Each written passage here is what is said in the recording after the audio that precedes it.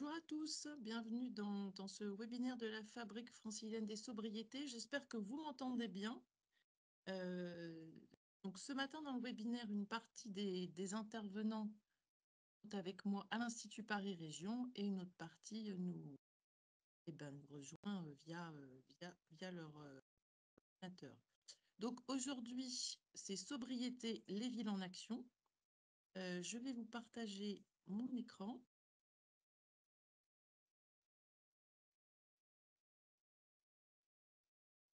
J'espère que vous voyez bien.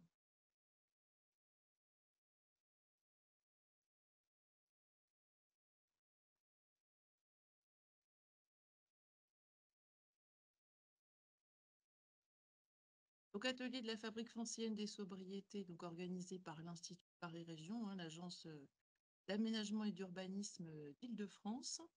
Euh, donc, je travaille au département énergie-climat AREC. Quelques infos préalables. N'oubliez pas de fermer vos micros et caméras pendant les présentations. Vous pouvez de toute façon poser des questions Teams. Les supports seront diffusés sur le site de la REC et puis le webinaire est enregistré pour une diffusion en replay. Donc, quels sont les objectifs de l'atelier? Eh bien, comme tout ce qui nous anime euh, depuis euh, le début, et on est au 28e atelier, donc c'est imaginer ensemble une sobriété choisie, juste et collective et innovante par donc aujourd'hui, comment les villes se sont organisées jusqu'ici pour mettre en place leur plan de sobriété, surtout en faire un objet de politique publique à long terme? Et euh, cette matinée, c'est l'occasion de retour d'expérience, d'échanges avec les participants et n'hésitez pas à, à, à, à, nous partager également vos propres expériences. Au programme de l'atelier, une petite, introduction actualité, suivie ensuite des interventions de Grenoble, de la ville de Paris, d'Acté Cubeville, de la ville de Chaville et de la FNCCR. Et on développera cela après. Je, comme dans les ateliers précédents, je repartage la, définition, les définitions, euh, puisque c'est important qu'on se reparle de sobriété énergétique, est utilisé pour des choses un petit peu différentes. Donc pour ceux qui l'ont déjà euh, entendu, désolé, mais ça va aller assez vite. Donc la sobriété, démarche qui vise à réduire les consommations d'énergie de ressources, hein, matière, eau, etc., par des changements de comportement, de mode de vie et d'organisation collective, et bien sûr de manière volontaire et organisée, pour assurer le bien-être de tous les êtres humains dans les limites planétaires. Euh, la sobriété ne va pas non plus sans l'efficacité énergétique, c'est le premier pilier négawatt. Sobriété, mais évidemment, euh, l'efficacité énergétique, c'est tout aussi important, euh, puisque l'idée, c'est bien, bien sûr de, réduire la, quantité d'énergie et de ressources nécessaires à la satisfaction des besoins de la technologie. Et le troisième pilier, euh, une diversification des ressources, notamment euh, le développement des énergies renouvelables et locales.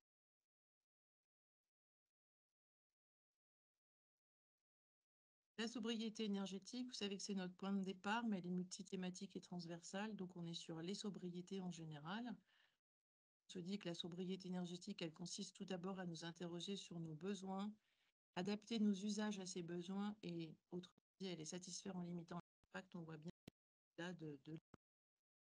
Euh, donc ça, va signifier en parallèle de réduire la demande d'énergie, de ressources, tout en maintenant et en accroissant euh, un niveau, la qualité de service bien sûr, et bien sûr en modifiant les, tout cela, euh, en, modifiant les pratiques.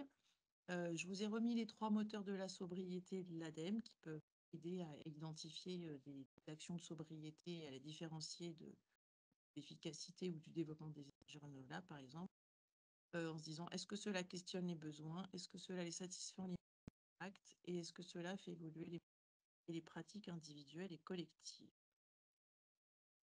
D'autres manières de parler de sobriété, c'est aussi de parler d'ébriété. Et donc, en se mettant en parlant du graphique que, Valérie Guillard avait fait dans son page Comment consommer avec sobriété en 2021, eh bien, on, la, l'a classé sur ce graphique comme du mieux, durable, adapté, éthique, et du moins, puisque la consommation répond à un besoin. Et ça nécessite bien entendu, ça c'est ce qu'on tout seul, la sobriété pas automatique. Ça nécessite prise de conscience, innovation sociale, portage politique, un environnement facilitant et surtout de nouveaux imaginaires de sobriété. donc, euh, elle est euh, euh, à mettre en regard avec le, pas mieux la réduction subie, la précarité, où on va avoir des intensités énergétiques et empreinte carbone élevée, et avec un moins, puisque la consommation répond bien à un besoin, pas un choix. La sobriété se distingue de l'économie circulaire parce que c'est du mieux et ce n'est pas forcément un. pas sur, base. Et enfin, c'est totalement à l'opposé du dans ce graphique avec du pas moins et du pas mieux. Et enfin, bien sûr, la sobriété, comme on disait, bah, c'est un, modèle de développement, une transition écologique et solidaire réussie. Peut se référer aussi aux donuts de Kate hein, comment transformer, qui se pose la question de comment transformer notre économie pour, qu'elle puisse continuer de prospérer sans être obligée de croître. Euh, Kate elle a aussi travaillé là-dessus aussi pour s'affranchir euh, de certains débats sur croissance, décroissance, qui pas forcément le sujet de départ. Et donc, dans, ce, dans ce donut, on est entre plancher, plancher social, hein, qui va atteindre pour assurer l'épanouissement de chacune et chacun, le plafond environnemental, l'épanouissement se faire au-delà de ce cercle extérieur, étant de, ne pas consommer de, manière trop intensive, bon, sachant que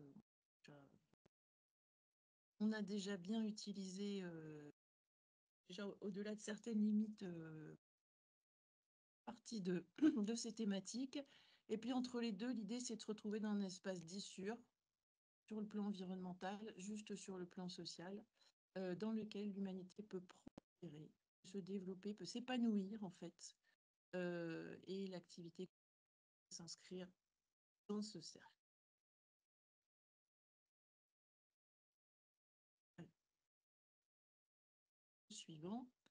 Euh, très vite, l'actualité. Donc, comme vous savez, à chaque fois, euh, d'actualité, euh, il y a d'autres. En tout cas, l'ADEME vient de sortir un baromètre sobriété et mode de vie.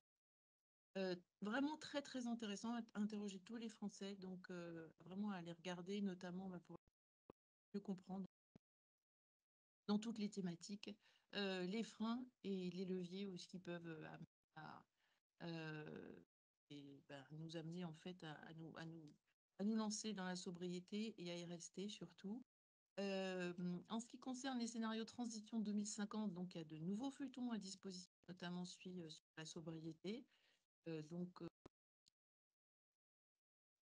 études et travaux de ADEME hein, se retrouvent sur le site librairie ADEME. le Bureau européen de l'environnement vient de sortir un manifeste s'appelle La sobriété au corps du futur de l'Union européenne. Euh, qui a été euh, signé par euh, énormément de fédérations. 70, il y a 60 signataires en Europe, dont la Fédarène.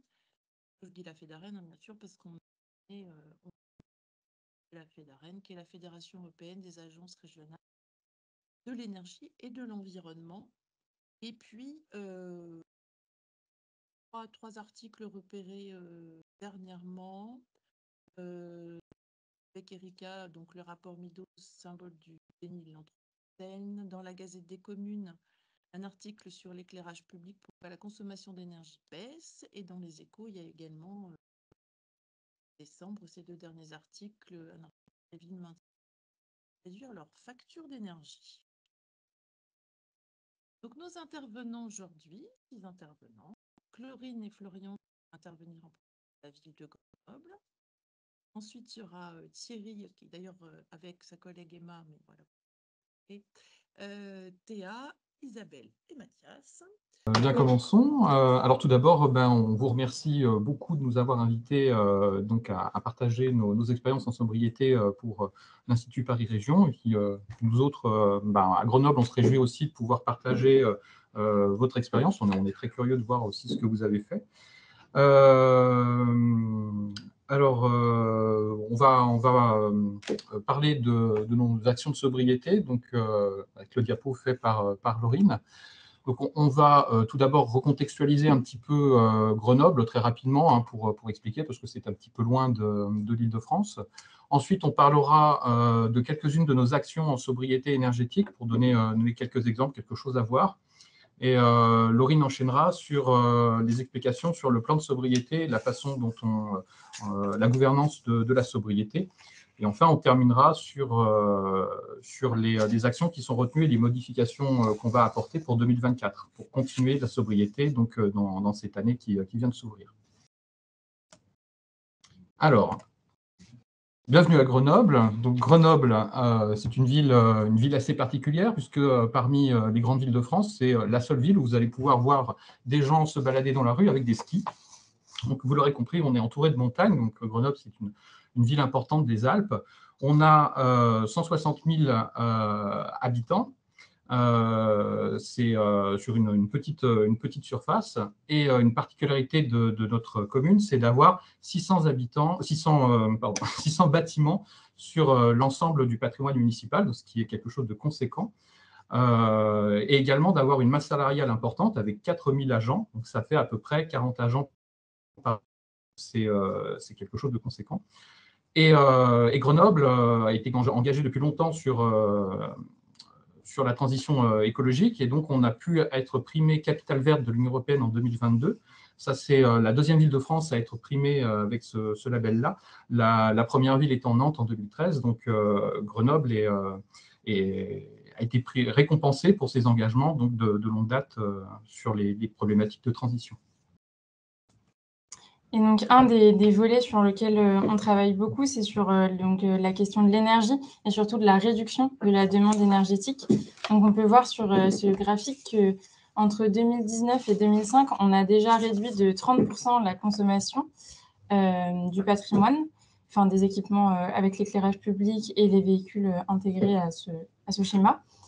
Et euh, on cherche à aller encore plus loin avec le, dernier plan air énergie climat donc, euh, qui a été euh, validé l'année dernière. la ville s'est engagée à réduire encore de 50% ses consommations d'énergie d'ici 2040, donc par rapport à 2012, ce qui fait donc plus de 50% de, de, réduction par rapport à 2005.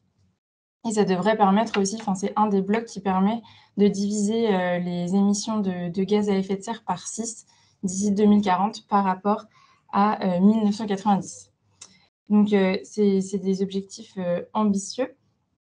Et,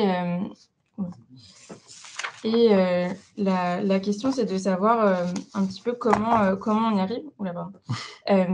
donc, il y a, y un peu de, comme on en a parlé avant, pour réduire les consommations d'énergie, il, y a deux méthodes il y a euh, l'efficacité énergétique et la sobriété énergétique.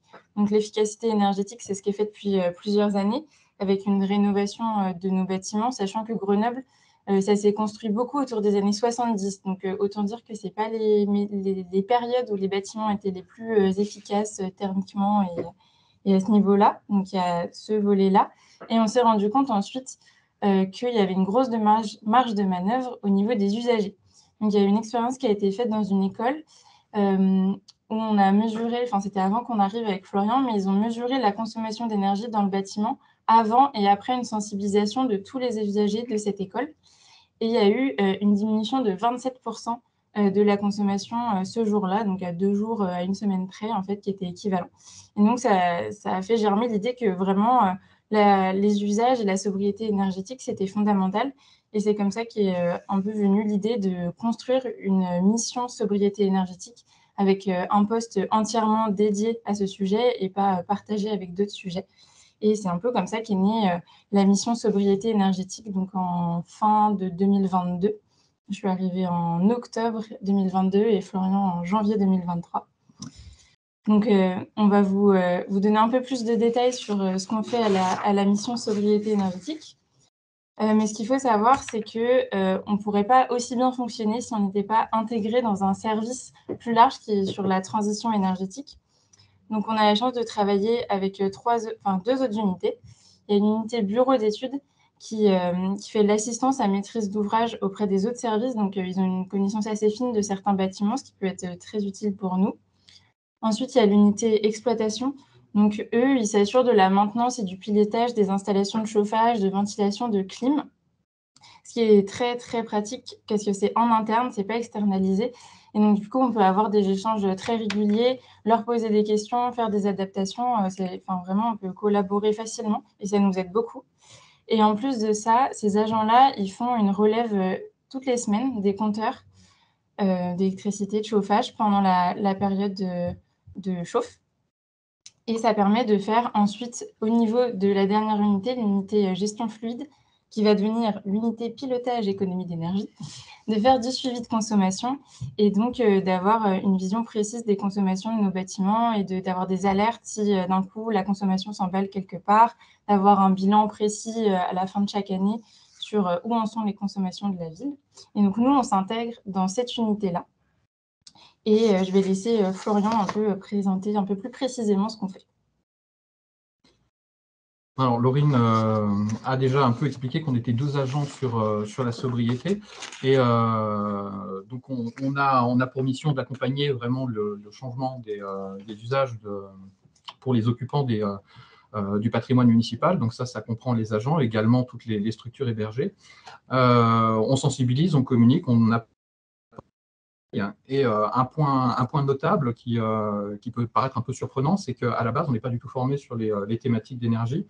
et on va voir que ce n'est pas du tout un, problème pour, parler de sobriété. Alors, parmi les, les, usagers des bâtiments, dont j'en ai un petit peu parlé à l'instant, on a des structures, des structures qui peuvent être ou des services de la ville, comme une bibliothèque, ou bien des, des structures associatives, comme une MJC, dont je sais qu'il y en a beaucoup en région parisienne, euh, et ce qui est intéressant avec ces structures-là, c'est pour ça qu'on va en parler ce matin, c'est que euh, généralement, elles se trouvent dans un bâtiment unique. Et comme Laurine l'a dit, on peut euh, suivre les consommations des bâtiments. Et donc ça, ça nous permet d'étayer, de mesurer un peu si nos mesures, si nos, nos accompagnements sont, sont efficaces. Et Laurine parlait d'une école où ils avaient fait 27%. cette année, on a des structures après nos accompagnements qui ont fait jusqu'à 30%. Donc, ce n'est pas juste nous avec l'accompagnement, bien sûr, hein, les, structures étaient volontaires et, euh, elles sont, elles sont pour, euh, pour beaucoup du mérite de, de, euh, ce résultat. Mais cependant, voilà, ça montre aussi que les, éléments qu'on va vous présenter ont, un réel impact sur, sur les consommations. Alors, dans, dans, les structures, on a, à force d'aller voir les occupants, on a fini par élaborer un, un mode opératoire. Et donc, on, réalise d'abord une première visite qu'on appelle entre nous une visite de diagnostic, où en fait, on va à, la rencontre de quelques occupants. On fait une visite des locaux et on regarde quels sont leurs usages de l'énergie euh, par rapport euh, à, leur, leurs problématiques et à leurs contraintes. Et, ça, ça nous permet ensuite de construire une, session de médiation avec pour objectif de, construire avec eux un, plan d'action euh, pour réduire leur consommation d'énergie, donc un plan d'action de sobriété. Et ici, c'est très important, on n'est pas dans une démarche euh, descendante où on va avoir les idées et puis on va leur, euh, leur dire ce qu'il faut faire. on fait ça à rebours, on fait, on fait vraiment de la médiation, c'est-à-dire qu'on met en relation les usagers du bâtiment avec cette thématique de la sobriété, de façon à ce que ce soit eux qui, qui donnent les idées, qui donnent les actions qu'ils veulent réaliser. Comme ça, on est sûr aussi que ce soit des actions qui soient euh, qui soient vraiment adaptés à leur situation. Et on a vu voilà, que ça, ça donnait de, bons résultats. Alors pour faire ça, euh, ça demande à, travailler assez finement sa, pédagogie. Euh, bon, alors malheureusement, je ne vais pas avoir le temps de, détailler un petit peu tous ces, tous ces processus-là, mais on va parler des, on va vous présenter les, outils qu'on a, qu'on a réalisés pour mettre en place cette pédagogie, cette pédagogie et pour nous simplifier un petit peu le, le travail d'exécution euh, à chaque fois qu'on se déplace et qu'on a des, euh, nouveaux publics. Alors, parmi ces outils-là, on a, où est-ce que je les ai mis? On a un, premier outil, c'est le photolangage. Donc, c'est un outil d'animation assez classique. pour ceux qui ne le connaissent pas, ce sont des, images inspirantes sur une thématique. Donc là, nous, notre thématique, c'est l'énergie. Donc on a différentes images qui, sont, qui donnent à voir ce que pourrait être l'énergie. On demande aux participants de nous dire quelle image, de choisir une image en fait qui illustrerait pour eux ce que c'est que l'énergie. Donc ça, c'est très intéressant parce que ça nous permet de, récolter toutes les représentations différentes de l'énergie que peut avoir un, public, parce que l'énergie, c'est quelque chose de vaste, c'est quelque chose qui est assez, euh, assez difficile à, à, synthétiser, puis chaque personne a une expérience différente.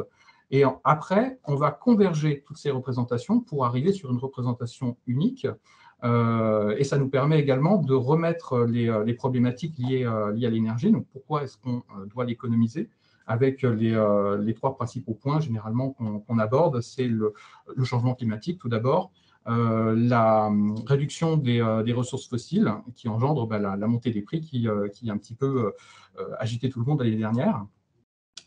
Et donc, partant de là, bah, on peut donner une définition de l'énergie et ensuite dérouler le reste de, l'animation en partant sur cette base-là. Un autre outil qu'on utilise, qu'on a, inventé, c'est un, euh, une revisite du, jeu du Molki. Donc, sur le diapo, c'est euh, celle qui se trouve en, dessous du photolangage.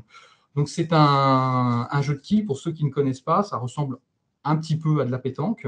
Et cet outil-là, il est intéressant parce qu'il nous permet de, déconstruire certaines idées reçues sur, euh, sur des consommations d'objets. Donc, on, a pris 12 objets qu'on retrouve généralement dans les bureaux, et ça nous permet de, de les classer par ordre de consommation. Euh, souvent, on a le ballon d'eau chaude. Les gens s'imaginent que c'est quelque chose qui consomme assez peu, alors que, euh, et même nous, quand on l'a fait, on s'est rendu compte que c'était un objet qui consommait énormément. Et donc, c'est la douzième carte de, notre jeu, sachant qu'on a des consommations annuelles sur, euh, une approche bâtiment pour, ce jeu-là. On a un, troisième outil qui, est très pratique et qu'on utilise souvent pour, pour construire des plans d'action avec les occupants. Euh, c'est un jeu de société qu'on a appelé objectif moins 20%. Donc le, principe, c'est que euh, les, personnes vont avoir une structure qui va être représentée, schématisée en phase 2, donc une structure assez moyenne comme on a pu euh, rencontrer au fur et à mesure de, notre mission, avec des pièces. Donc là, par exemple, moi j'ai choisi la, pièce commune. Dans cette pièce-là, on a des objets qui représentent les objets qui, consomment dans cette pièce-là. Donc ça, c'est intéressant parce que les gens autour vont prendre conscience bah, qu'ils ont des objets qu'ils vont consommer. Euh, que chaque objet consomme plus ou moins aussi, donc c'est à peu près le, même principe qu'avec euh, le Molki. Et chaque personne ensuite va pouvoir proposer des actions de sobriété. Donc là, par exemple, j'ai une carte, c'est euh, baisser le chauffage à 19 degrés. Donc, ils vont avoir des idées, des choses qu'ils peuvent faire autour d'eux. Ils doivent se concerter pour trouver une idée. Donc, exactement ce qu'ils feront après, finalement, pendant le plan d'action. Et ce jeu-là est intéressant parce qu'il permet de comprendre toutes les facettes et, et toute la complexité de, la question, parce que par exemple, quand vous allez baisser le chauffage, euh, chaque joueur a des cartes de, contentement, et donc quand vous allez baisser le chauffage, vous allez impacter euh, le, confort dans le, euh, le confort dans le bâtiment, et donc c'est important de prendre en compte, quand on fait une action, ben, l'acceptation du public. Ils doivent gérer un budget, et, et, on aborde également les différences entre sobriété et efficacité, dont Marie-Laure vous parliez tout à l'heure. Alors, on a, euh, on a donc de la pédagogie pour ces, euh, outils d'animation et on a également euh, développé une pédagogie et une approche originale pour tout ce qui, tout ce qui touche à notre communication. On a par exemple inventé un personnage, une mascotte pour la sobriété, un, petit, un petit manchot qu'on a appelé Echo. Et donc, ce manchot-là, on le reprend pour chacune de nos communications en interne à la ville. Donc, ça permet aux agents de de, tout de suite identifier qu'un message euh, est lié à la sobriété. Et puis la sobriété, ce n'est pas quelque chose qu'on aborde non plus euh, sereinement. Généralement, les gens ne euh, sont pas très, pas très animés quand on va parler de sobriété. Voilà. Quand vous êtes en état d'ébriété, on vous dit qu'on va vous parler de sobriété pendant 12 heures. ça, ne va pas trop vous motiver. Donc, on a, on, a donc, on a donc cette approche-là qui est un petit peu décalée de, donner un peu plus envie à voir. Alors, on a des, supports de communication finalement assez, euh, classiques, hein, des articles de presse, des affiches, des, euh, des brochures. On a également testé des, choses un peu plus innovantes, comme euh, ce qu'on est en train de faire là en ce moment tous ensemble, un webinaire. Donc, on a réalisé un webinaire pour l'ensemble des agents de, la ville, de façon à faire le point sur les mesures de l'année passée, en tirer le bilan, et puis à, prendre les questions et à, réagir avec les, euh, avec les occupants, donc à proposer un dialogue autour de ça.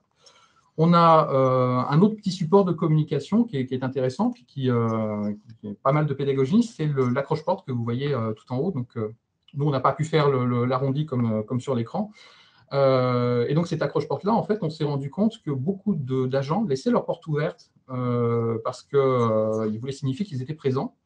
Et c'était dommageable, euh, question de consommation, parce que le, chauffage tournait ou la clim tournait, et donc on chauffait ou on refroidissait aussi le couloir. Et euh, plutôt que euh, d'aller les voir et de leur dire ben, la consigne, c'est de fermer sa porte, on a décidé de, leur bricoler ce petit accroche-porte pour signifier s'ils étaient présents ou s'ils étaient occupés, et pour les motiver à fermer leur porte. Donc, ils mettent ça sur leur porte pour dire j'ai ma porte fermée parce que ma clim est activée, mais euh, je suis présent et on peut, euh, on peut venir me voir. Laurine, je te laisse euh, la main. Donc maintenant qu'on a fait un peu le tour de, nos missions, un peu de fond, de comment on, essaye de sensibiliser le plus d'agents possible et le plus d'usagers des vêtements de la ville, une autre partie de notre mission, elle est née du fait de la crise énergétique. Euh, donc, euh, au moment où moi je suis arrivée sur mon poste, d'un coup, les, prix de l'énergie s'étaient emballés. Et donc, il a fallu euh, faire une réaction rapide pour, pour régler, pour essayer de diminuer l'impact, notamment sur, sur nos finances. Et donc, pour ça, ce qui a été fait, c'est qu'il y a eu un appel auprès de tous les services à ce que les agents fassent remonter des idées d'actions de sobriété pour, pour inspirer les élus ensuite. Et euh, donc, les élus ont eu accès à toutes ces, euh, toutes ces idées et ils ont pu euh, trancher sur lesquelles ils souhaitaient adopter et lesquelles ne les convainquaient pas. donc, par exemple, il y avait eu la proposition d'offrir la BD de Jean Covici à tous les agents à Noël. Donc, ça, par exemple, ça n'a pas été accepté. Par contre, réduire le chauffage à 19 degrés dans les bureaux, ça, ça a été accepté. Donc, la, chance qu'on a aussi euh, sur ce sujet de, la sobriété à Grenoble, c'est qu'au moment de cette crise, il y a un groupe de travail qui a été créé. C'est le groupe de travail CARE pour coordination, anticipation et réponse à la crise énergétique, qui est composé de deux adjoints pilotes, donc au RH et à la transition énergétique, de l'ADG, du cabinet du maire et des services concernés par le sujet. Donc, ce groupe de travail, au début, il se réunissait à peu près toutes les deux semaines pour euh, vraiment au cœur de la crise, pour gérer euh, toutes les situations problématiques, anticiper les éventuels délestages, etc. Et aujourd'hui, on a réussi à le maintenir dans le temps, mais il se réunit plus que tous les deux mois, puisqu'on n'est plus dans cette situation euh, de crise aussi intense. Mais ça nous permet d'avoir une instance de, dialogue, de prise de décision, d'échange avec toutes les parties prenantes. Donc, par exemple, si on va parler de la température dans les gymnases, euh, les services des sports pourront être là pour euh, nous donner leur avis, nous qu'on leur apporte nos éléments, etc. Et ça, c'est vraiment précieux pour prendre des décisions euh, tous ensemble. Sur les actions qui ont été, qui ont été retenues, donc ça, c'est assez classique, on va dire, sur les températures. On est passé à 19 dans nos locaux pendant l'hiver et, et 27 pendant l'été avec la clim.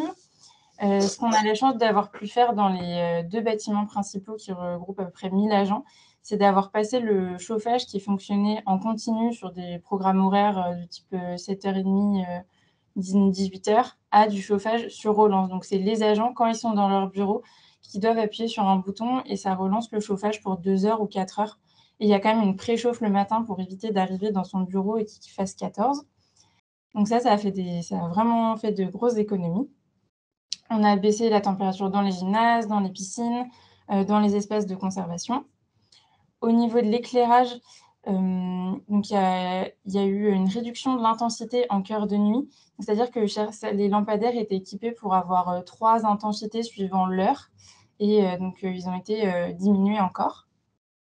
Il y a eu l'extinction dans les parcs, mais les chemins principaux ont été quand même conservés parce que sinon, c'était un peu compliqué de traverser un grand parc en pleine nuit sans aucune lumière.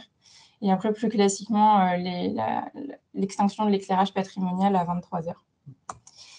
Dans euh, le reste des actions un peu diverses, on a euh, la fin de l'eau chaude dans les lavements. Donc ça, c'est une question qui fait un peu encore polémique et qui n'est pas très acceptée par les agents qui veulent faire leur vaisselle.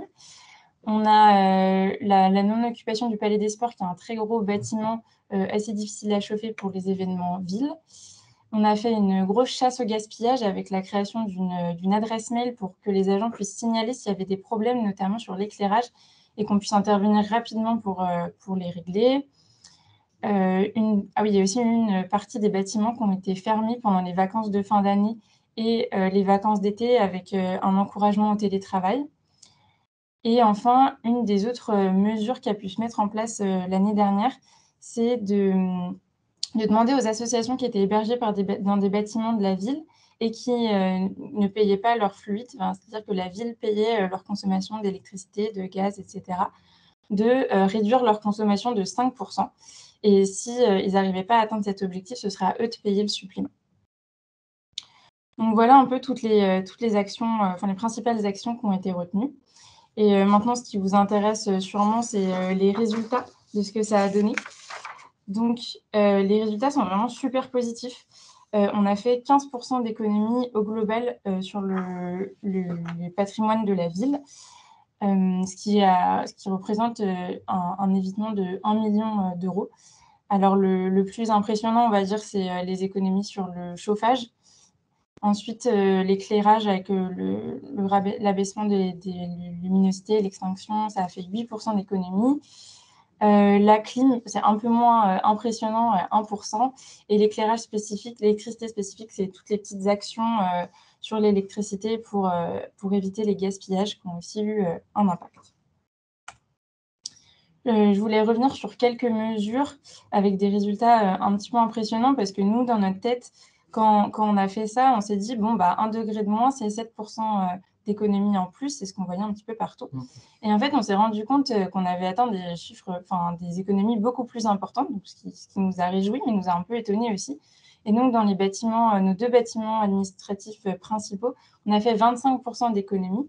Donc, vraiment, on remercie euh, largement les agents qui, ont, qui ont fait les efforts pour, pour ben, vivre avec ces 19 degrés, se prendre l'habitude du chauffage sur relance qui a quand même perturbé accepter qu'il y ait de l'eau froide dans les, dans les lavements. Dans les gymnases, 28% d'économie en baissant de à peu près 2 degrés. Les piscines aussi 25% d'économie. Et euh, sur l'été, sur la clim, ça dépend des bâtiments. Il y en a un où il y a eu 25% d'économie et l'autre 15%. Et en fait, la différence s'explique que par dans un des bâtiments, on a pu couper un groupe froid et pas dans l'autre. Euh, parce qu'il euh, la base, il y avait deux groupes froids dans le bâtiment avant qu'on arrive et que finalement un seul pouvait suffire. Et donc, du coup, on est très content de ces économies, mais se pose quand même la question de l'acceptabilité, du ressenti des agents, comment ils l'ont vécu euh, cette année euh, de sobriété. Et donc, on a voulu quand même euh, vraiment s'intéresser au qualitatif, à l'humain derrière. Et pour ça, on a organisé des questionnaires.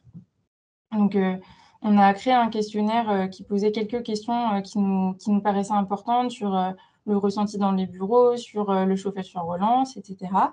On est allé les distribuer en se mettant au pied des bâtiments municipaux, enfin bâtiments administratifs principaux, en faisant vraiment, en donnant nos questionnaires euh, le matin euh, quand les agents arrivaient, en allant les rechercher.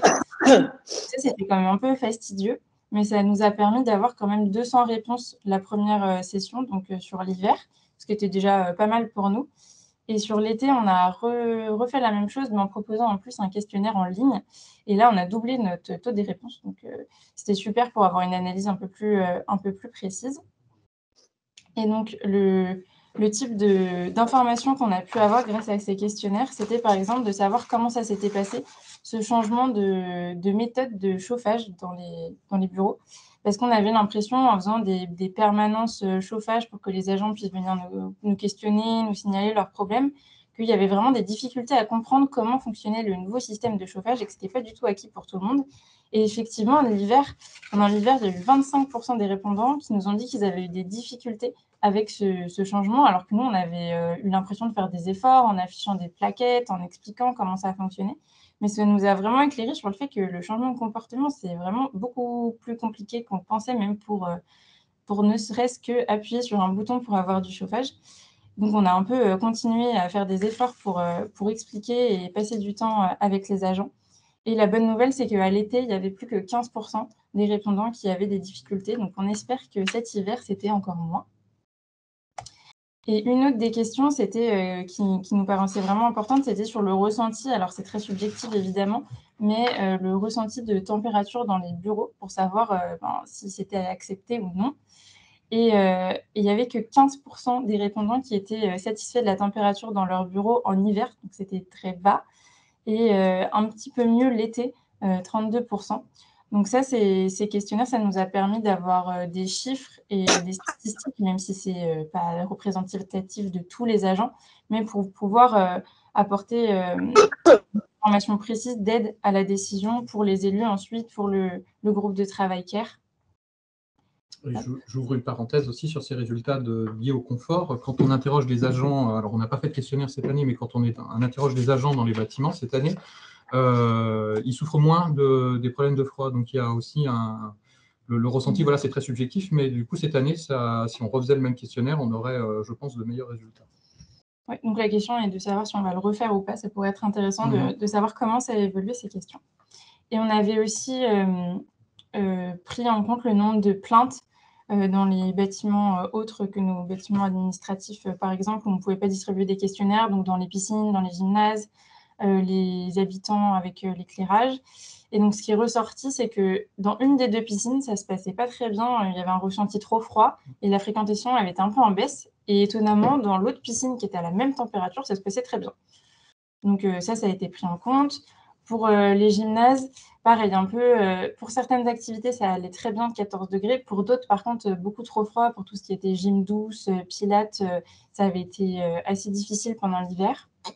Et pour ce qui est de l'éclairage public, certains parcs, il y a eu des demandes pour qu'ils soient rallumés parce qu'il y avait des problèmes d'insécurité. Il y en a qui étaient proches des écoles. C'était un peu compliqué. Donc ça, ça a été rallumé au fil de l'eau selon les besoins.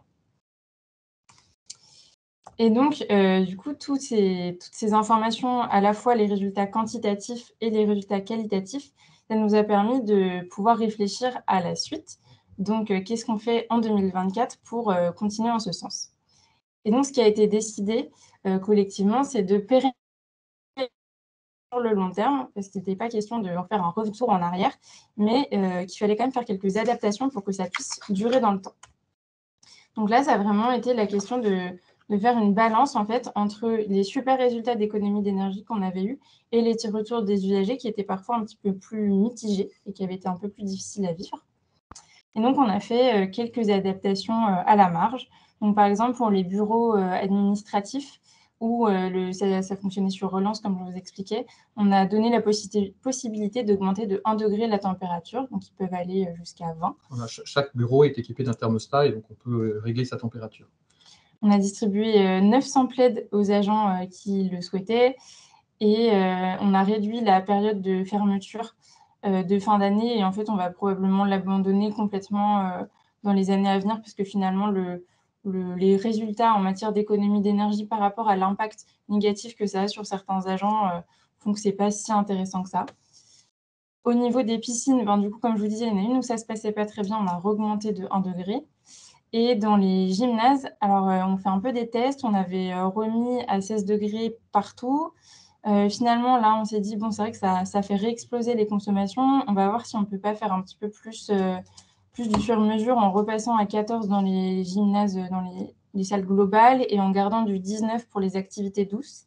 Et pour l'instant, ça se passe très bien. Il n'y a eu aucune plainte. Donc, on l'a mis en place depuis le 15 euh, février, enfin, depuis les vacances de février. Et pour l'instant, euh, aucune plainte. Donc, c'est plutôt une bonne nouvelle. Et euh, il y a encore eu d'autres parcs qui ont été rallumés entre-temps, quelques-uns des petits parcs à la suite des demandes des usagers. Donc voilà, maintenant, la question, c'est de savoir comment ça va évoluer cette année. Pour l'instant, sur la, la consommation euh, d'énergie, c'est plutôt stable par rapport à l'année dernière. On n'a pas une grosse augmentation, on, reste stable, donc ça, c'est une bonne nouvelle. Et puis, il faut qu'on continue à creuser euh, auprès des agents pour savoir euh, comment ça se passe. Mais on a plutôt l'impression qu'il y a une habitude qui se prend et que ça, se passe de, mieux en mieux. Mm. Voilà pour cette présentation. Donc, si vous avez des questions, on est disponible pour ça.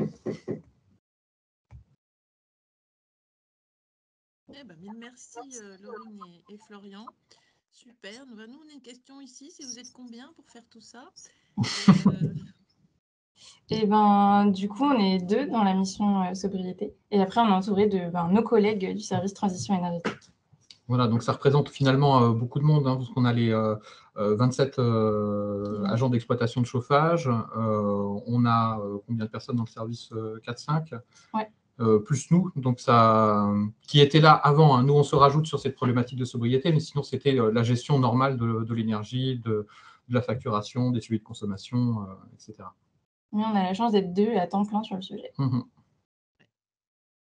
Et il y a une question pour savoir, question sur la transversalité dans votre relation avec les autres services de la ville, santé, paysage, aussi, je crois. Mmh tu veux répondre, Laurie Oui, bah alors du coup, on est, on est bien en contact avec les, autres, les autres services. on est plutôt en contact, par exemple, avec la direction jeunesse quand on va dans, travailler avec des écoles, avec des MJC. Mmh. on a été beaucoup en contact avec un service qui gérait tout ce qui était maison des habitants. Voilà, en fait, c'est quand on veut intervenir dans, auprès de certains agents, bah, on est en contact avec le, le service qui, gère euh, ces situations-là, donc avec les sports aussi, la culture.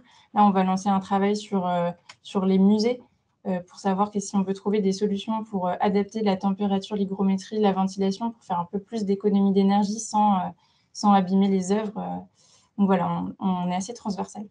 on a aussi la communication dont on parlait tout à l'heure, par exemple, on ne la fait pas tout seul non plus, on s'appuie sur le service communication.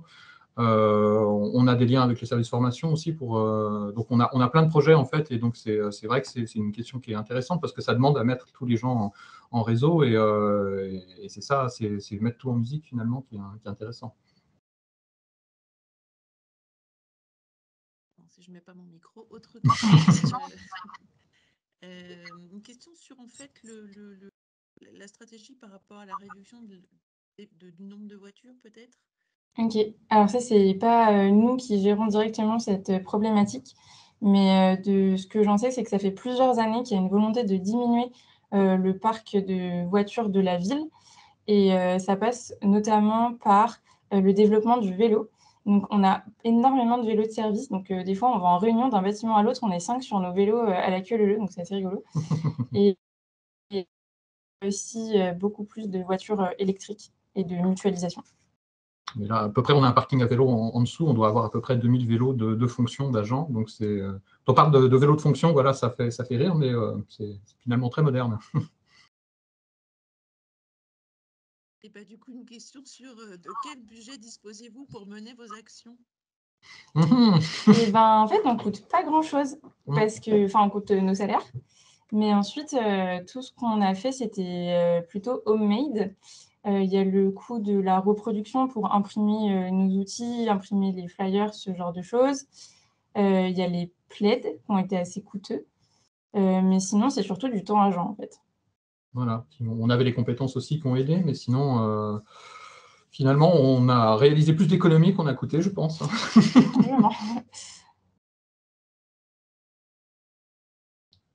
Bravo, en tout cas. Il y a une question Euh,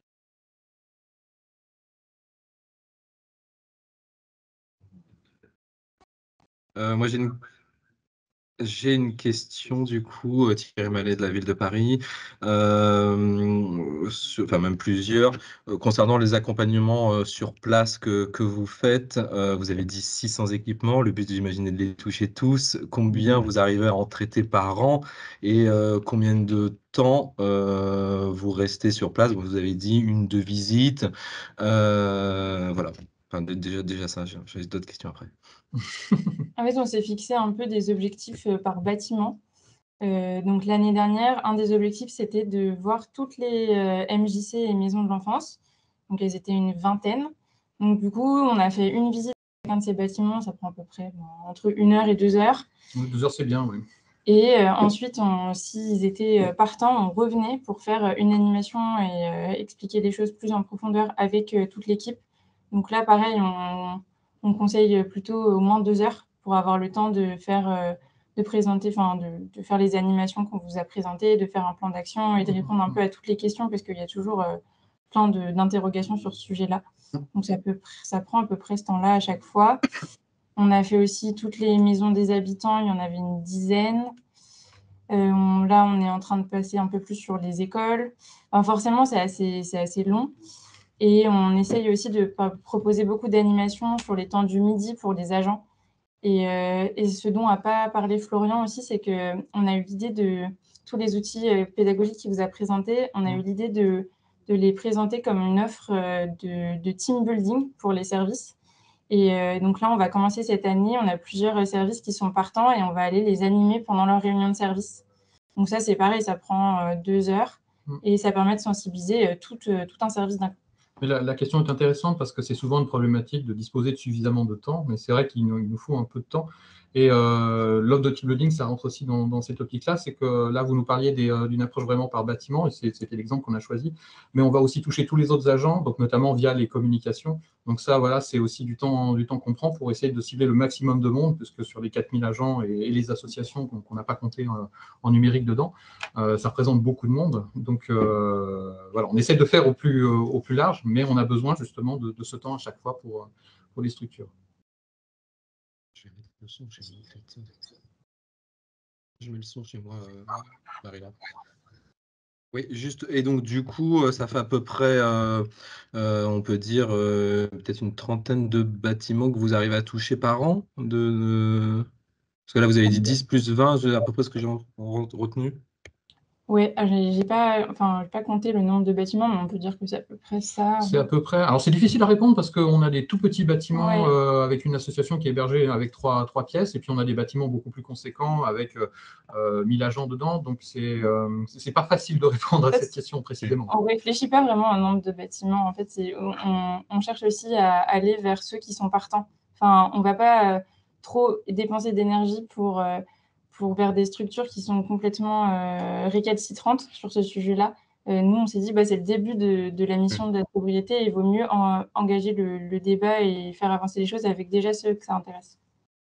Et moi, une dernière question, après, on pourra peut-être échanger en, off entre nous, mais euh, chauffage sur relance, du coup, c'est vraiment une, une, refonte du système de chauffage que vous avez fait sur certains équipements ou ça s'adapte Enfin, ça s'adapte sur une chaufferie classique? Alors, on avait la pas. chance d'avoir déjà des, un équipement qui pouvait le faire. D'accord. Entre guillemets, juste, fallu tout reprogrammer. Euh, pour un bâtiment, ça a été, on a pu reprogrammer d'un coup tous les, tous les radiateurs et dans, et dans l'autre, il a fallu faire bureau par bureau. Mais euh, c'était déjà équipé pour, en fait. Ok, merci.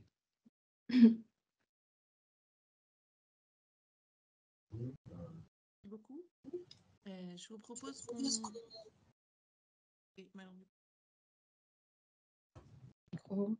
Et le son, Et le son, vous m'entendez là? Oui. Peut-être pas. Je...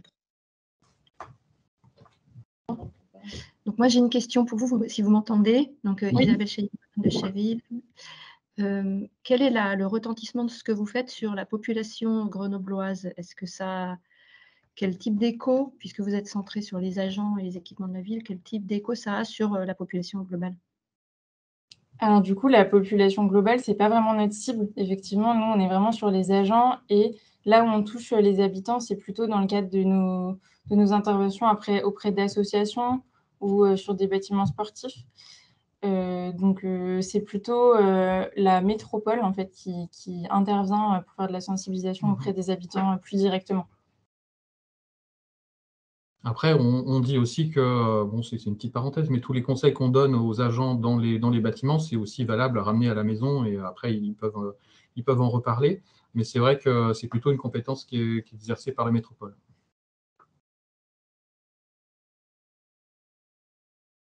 Merci beaucoup. Merci à vous. Euh, il doit y avoir d'autres questions, mais euh, je propose qu'on passe euh, à la présentation suivante. je donne la parole à Malédon de Paris. Thierry Jacquet de la ville de Paris. Euh, je laisse Thierry partager ça. Tu peux couper, tu coup ce que Présentation. Hop. Normalement ça devrait être bon. J'essaie de mettre en plein écran. Je vérifie que c'est bon sur les écrans de mes collègues. Est-ce que c'est bon? Ah, non, j'ai perdu. Fenêtre. Normalement, quand je fais ça. Ah, mais ça, vous l'avez, mais si je mets en, si je mets en grand, vous le perdez, j'ai l'impression. Un essai. Et vous le perdez quand je mets en grand. Ok, bon, ben, ça ne sera pas en, en super grand.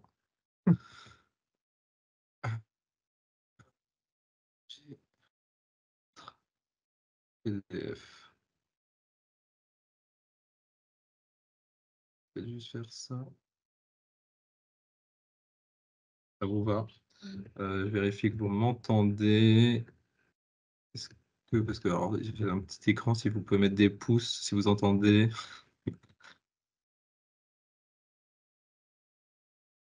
C'est bon, ils entendent. Ok. Ah, super, merci. Euh, donc, euh, donc, je me présente, enfin, je me représente Thierry Mallet de la ville de Paris et je suis avec Emma Jacquet qui m'accompagne. Voilà, donc nous sommes deux aussi euh, au service sobriété et économie d'énergie de cette nouvelle direction de la transition écologique et, du climat qui a maintenant un peu plus de deux ans. Et donc, on a deux grosses euh, missions finalement, une, principale et une qui, finalement se décline. Euh, réduire les consommations énergétiques du, territoire parisien et, et c'est finalement une, une, soumission, réduire les consommations de l'administration pour que l'administration soit exemplaire. Donc là, je vais essentiellement vous parler euh, d'un dispositif qu'on a mis en place euh, tout récemment, euh, le dispositif des relais sobriété énergétique, qui fait partie d'une des mesures du plan de sobriété. voilà, je ne reviendrai pas trop sur les autres, les autres mesures. Euh, donc rapidement, je vais vous parler du, contexte, mais je passerai très vite parce que je pense qu'il faut euh, aller à l'essentiel. Je vous parlerai du dispositif euh, concrètement, qu'est-ce que c'est que les relais sobriété et où on en est dans le déploiement du dispositif. Euh, donc euh, rapidement quelques chiffres, mais ça aussi été, euh, et puis le plan climat, mais c'est à peu près la même chose que pour Grenoble. nous, le territoire parisien, c'est 30 TWh, donc c'est quand même énormément de, de, consommation. on note déjà moins 13% d'économie d'énergie sur les bâtiments, donc tout confondu hein, depuis 2004, et ça s'était mesuré en 2020. On a un mix d'énergie renouvelable, notamment grâce à notre réseau de chaleur urbain, qui est quand même assez euh, important, plus de 50%, et quelques objectifs du plan euh, climat. J'ai mis uniquement ceux de 2030, mais l'objectif principal de, 2050 est d'atteindre la neutralité carbone sur le territoire. Euh, donc ici, ce qui nous intéresse plutôt sur l'énergie, c'est moins 35% de consommation énergétique et, et peut-être moins 50% d'émissions euh, de, gaz à effet de serre, mais qui, euh, est conjoint. Un petit zoom sur l'administration parisienne qui nous intéresse plus aujourd'hui. Euh, donc trois gros postes, hein. les équipements publics qui sont évidemment le principal, l'éclairage public et la flotte municipale. Donc, euh, les, équipements publics, ça euh, correspond à peu près à 700 gigawattheures. Donc, 700 gigawattheures à, à, mettre en lien avec les 30 terawattheures de tout le territoire. Et j'ai remis des exemples. Euh, une école parisienne, c'est à peu près 250 mégawattheures par an. Un radiateur, bon, comme ça que j'ai mis juste pour avoir une, échelle autour de 700 kilowattheures. Euh, l'expérimentation qu'on a fait, on l'a faite uniquement sur le 18e arrondissement. Donc, je vous ai remis une carte du 18e arrondissement, qui est finalement une ville dans la ville. Euh, euh, tous les points que vous voyez, c'est des équipements publics. il y en a beaucoup plus, en fait, parce que sinon la carte serait illisible. je n'ai mis que les écoles, je crois, et les gymnases. donc, nous, le territoire parisien, enfin, l'administration parisienne, c'est 6 000 équipements, c'est 50 000 agents, ça doit être 6 000 véhicules aussi, donc c'est des chiffres euh, assez euh. Euh, on a 600 écoles, une, 600 crèches à peu près aussi. voilà, donc l'idée a été de se, se focuser sur, sur un, arrondissement pour l'instant et j'y viens juste après. Euh, très vite euh, aussi un contexte réglementaire que vous connaissez tous, mais pour revenir sur le plan de sobriété de la ville euh, avec son objectif de 10% d'économie d'énergie, des grosses mesures sur la gestion du chauffage avec une baisse de température, alors avec une petite parité particularité pour la ville de Paris, puisque nous, on, vise le 18 degrés et non plus le 19. On avait déjà des bâtiments à 19. On parlera d'acceptabilité dans les questions si vous avez envie. Euh, une gestion des plannings plus précis euh, bâtiment par bâtiment. Voilà, donc ça, c'est des grosses mesures. Euh, à court terme hein, sur le, chauffage, des mesures plus symboliques comme l'extinction de, d'équipements, bah, notamment ici la, tour Eiffel, euh, le déploiement de relais sobriété, donc était une des mesures qu'on avait annoncées dans le plan de sobriété, j'y viens donc dans cette présentation, et des mesures plutôt de communication, on a adhéré à, à, EcoWatt et évidemment on a, on a communiqué sur tous les réseaux. Euh, donc plan climat, plan climat de la ville, décret tertiaire, je, passe un petit peu. Merci à Marie-Laure qui a déjà présenté ça, je passe sur la sobriété, vous connaissez tous. Euh, un petit bilan euh, déjà sur les, calculs qu'on a fait de comparaison entre l'hiver 2022, donc déploiement du plan de sobriété, et l'hiver 2023, donc continuité. Euh, on est à peu près à moins 5% d'économie d'énergie sur l'électricité, moins 7,5% sur euh, tout ce qui est chaleur, gaz et, CPCU ce qui correspond à peu près à, moins 6,7% euh, d'économie d'énergie, tout confondu. pour nous, c'est moins, moins 7%, c'est globalement dû à la baisse des 1 degré dans tous les bâtiments de la ville. Oui, je précise quand même la baisse d'un degré, c'est hors euh, établissement sensible, donc hors EHPAD, hors crèche, mmh. hors école euh, dites froides, donc euh, plutôt des, écoles qu'on sait qu'elles sont des passoires énergétiques. Donc en tout cas, euh, moins 7%, pour atteindre les moins 10, il fallait aller au-delà, et donc euh, est venue l'idée de, déployer un réseau de relais sobriété énergétique sur le modèle. On s'est inspiré de Lille, Lille Métropole, qui a déployé, alors eux, ils appellent ça des correspondants énergie. On s'est beaucoup inspiré, on les a rencontrés plusieurs fois, et, et, c'était vraiment intéressant ce qu'ils faisaient. Ils en sont déjà à leur septième saison hein, depuis 2016. Ils ont touché plus de 200 bâtiments, de, 200, oui, 200 bâtiments avec plus de 200 correspondants et avec des résultats très très positifs autour de, de, entre 10 et 15% euh, d'économie d'énergie. Donc, euh, donc on s'est inspiré euh, d'eux et on a lancé une expérimentation cette année sur le 18e arrondissement uniquement, sur 18 équipements dans le 18e. Voilà, petit coup de pub, euh, ce qui correspond à peu près à une vingtaine de relais. Euh, la particularité euh, de l'expérimentation, on a vraiment voulu ça, c'est de toucher le maximum de, directions et le maximum d'équipements différents de la ville pour avoir un, peu un panel représentatif des équipements qu'on que, qu'on gérait. Donc des écoles, des crèches, des équipements sportifs, des équipements administratifs, donc c'est équipements de bureau, des équipements culturels, conservatoire, bibliothèque, euh, théâtre et un EHPAD, voilà, donc qui, sont représentés ici, avec euh, une volonté, euh, donc, un, de toucher différentes directions, deux, des équipements différents, trois, avoir une variété de population aussi à rencontrer. On ne travaille pas de la même manière la sobriété dans une école, même une école maternelle et une école élémentaire et une crèche. Euh, et euh, à tout niveau hiérarchique. Les, on, ne, demandait pas des relais euh, sobriété d'un certain niveau, on ne demandait pas forcément les chefs d'établissement. Donc on a des chefs d'établissement, on a des agents techniques, on a des, adjoints aussi. Enfin voilà, on a tout un tas de, profils de profils RH et donc donc c'est assez riche. Euh, ça, je vais passer, mais euh, vous l'aurez. On a, fait une petite comparaison parce que ça, ça marquait bien les esprits. Euh, on a inventé l'équivalent école. Euh, donc une école parisienne, en, plus on, en a 600, donc le 250 MWh par an, il est, il est assez parlant. Euh, voilà, donc une piscine, ça, équivaut à 9 écoles.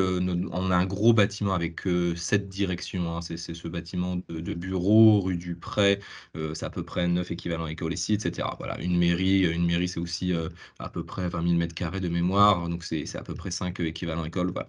Donc ça, ça parlait euh, aussi aux gens. Et euh, voilà, alors euh, la mission de ces relais, donc c'est des agents qui sont volontaires, enfin en principe volontaires, qui travaillent dans, dans leurs établissements parce qu'on voulait adapter le plan de sobriété au plus proche du local. Ça, c'était vraiment, euh, c'était vraiment cette, volonté. Euh, on a essayé de, de, leur donner euh, quatre grandes missions. Un, participer à toutes les animations qu'on va, qu'on va faire et que je vais vous présenter. trouver un petit peu les bons éco-gestes qui sont adaptés à leur établissement. Donc pareil, ça ne sera pas les mêmes éco-gestes dans un EHPAD que dans une crèche. Analyser, regarder, pouvoir suivre les consommations énergétiques de leur équipement, voire les afficher s'ils le souhaitent mensuellement ou trimestriellement, enfin comme ils veulent. Et évidemment, finalement, euh, la quatrième mission, c'est peut-être la plus importante, c'est de diffuser, diffuser le message euh, de manière formelle, s'ils veulent recréer des ateliers chez eux, ou totalement informel, euh, à la pause déjeuner, à la pause café. enfin, en tout cas, diffuser ce message important qui est la réduction des consommations énergétiques. Alors, qu'est-ce qu'on a fait d'autre? On a créé une, charte euh, d'engagement euh, qui est signée, euh, alors normalement tripartite, par le maire d'arrondissement qui, qui en gros impulse la commande à ses équipements de proximité et, à ses relais, la signature de l'agent, et on a voulu la signature aussi de, l'encadrant de l'agent concerné. En gros, engagement de lui laisser du temps pour cette mission. Alors, et le temps, je l'avais mis juste avant, on a estimé à une demi demi-journée par mois, donc, et qui est essentiellement euh, pris sur les rencontres euh, que, que, nous organisons. On a créé aussi une, euh, un bulletin d'information, donc on a un premier qui est, qui est paru tout récemment, on va en faire un deuxième bientôt.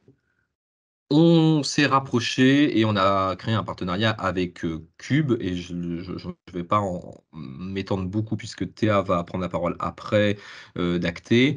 donc on a inscrit en fait en parallèle hein, mmh, ces, équipements du 18e dans le concours d'économie d'énergie et on a fait en fait une double inscription. les écoles on les a inscrites au concours Cube École et les autres bâtiments de la ville on les a inscrits au concours Cube Ville. Et donc ça, euh, ce partenariat avec Cube, ça nous permet euh, de récupérer euh, tout un tas d'outils pratiques, de ressources pédagogiques. Il nous aide à animer les, ateliers, voire il les anime. ils nous transmettent un kit de communication. Ils nous permettent d'avoir et d'accéder et que les différents bâtiments accèdent à une plateforme de suivi des consommations et aussi une application de sensibilisation donc sur smartphone ou euh, ou, directement euh, web, euh, qui s'appelle Énergique. Alors, quelques focus sur des outils à disposition euh, qui fonctionnent bien, parce qu'on a déjà de très bons retours, euh, et adaptés en fonction de, des équipements. Donc, un memory, des éco-gestes qui peut être plutôt adapté pour les écoles.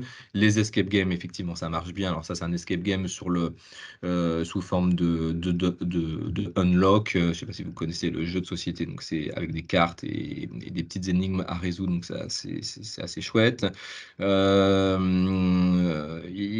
Y a une vidéo sur, euh, sur, normalement sur YouTube, je pense qu'elle est, elle est visible à tout le monde. Euh, c'est euh, la conversion d'un Robert, enfin de, kilowatts en, nombre de Robert. Et Robert, c'est un champion cycliste qui pédale pour faire griller un, une tartine, c'est ça, ou deux tartines. Voilà, donc combien il faut de Robert pour, pour, bah, pour alimenter une télé, une ampoule, voilà, tout, donc il y a des il y a un jeu coup conso qui est assez, assez chouette, qui a bien fonctionné. Pareil, ils doivent classer les différents équipements en fonction du, euh, euh, du, du, nombre de, kilowatts et euh, on a la conversion en Robert. Donc on s'imagine 48 Robert pour, pour faire fonctionner une machine à café. Voilà. il faut avoir beaucoup de, de place. un kit un kit euh, établissement, un kit collectivité avec une caméra thermique aussi et, des, et wattmètres qui sont aussi transmis aux établissements. Voilà, il y a un question pour un champion. Voilà, je vais passer assez vite sur les différents outils. Euh, les outils de communication qui fonctionnent aussi bien, euh, des nudges, des affiches, bâtiments engagés. Donc voilà, j'ai pris l'école maternelle euh, chez qui on a été la semaine dernière, enfin non, il y a deux jours même, qui a affiché cette affiche directement à l'entrée. Euh, et voilà, on arrive dans la dernière partie où je voulais vous présenter les différents ateliers qu'on a fait et comment se déroule euh, concrètement ce dispositif. Donc nous, on travaille sur un an. Alors c'est une expérimentation, donc euh, on espère l'étendre, mais en tout cas, ça, on, va essayer de garder ce principe-là.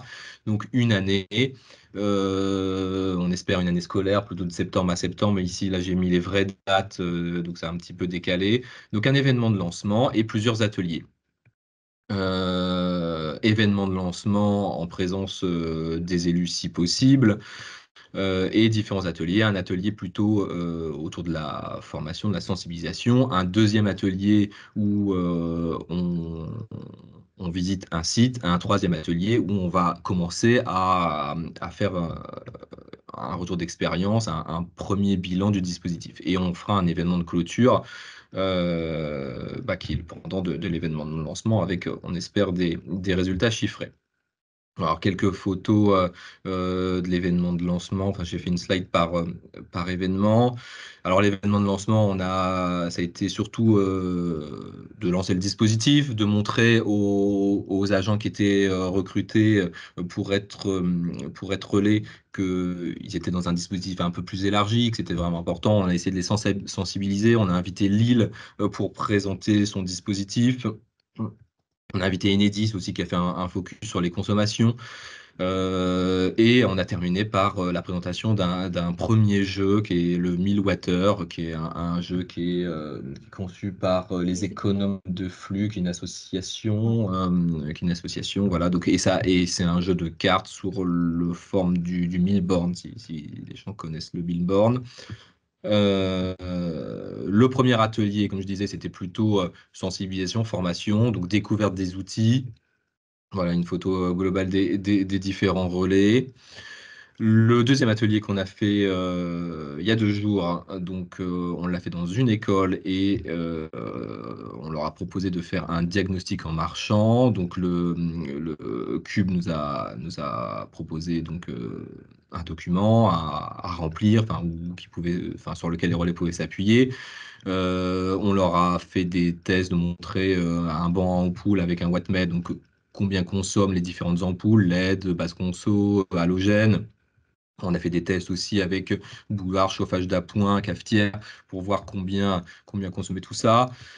Euh, passage de la caméra thermique pour aussi euh, montrer les différentes parois froides, les, fuites. Donc ça, ça a plutôt euh, bien plu. Et voilà ma dernière slide pour un petit peu commencer à, vous parler de, nous, ce qu'on pense du dispositif et avoir un premier retour d'expérience.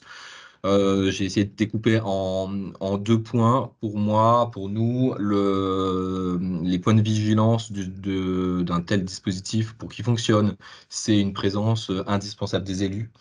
Euh, donc nous, on a eu l'élu, euh, Anne Claire Bou, qui est adjointe à, la maire et de Paris et adjoint au maire du 18e, qui était présent avec nous lors de l'événement de lancement pour, montrer que c'était euh, vraiment important aussi de, tous agir sur la baisse des consommations.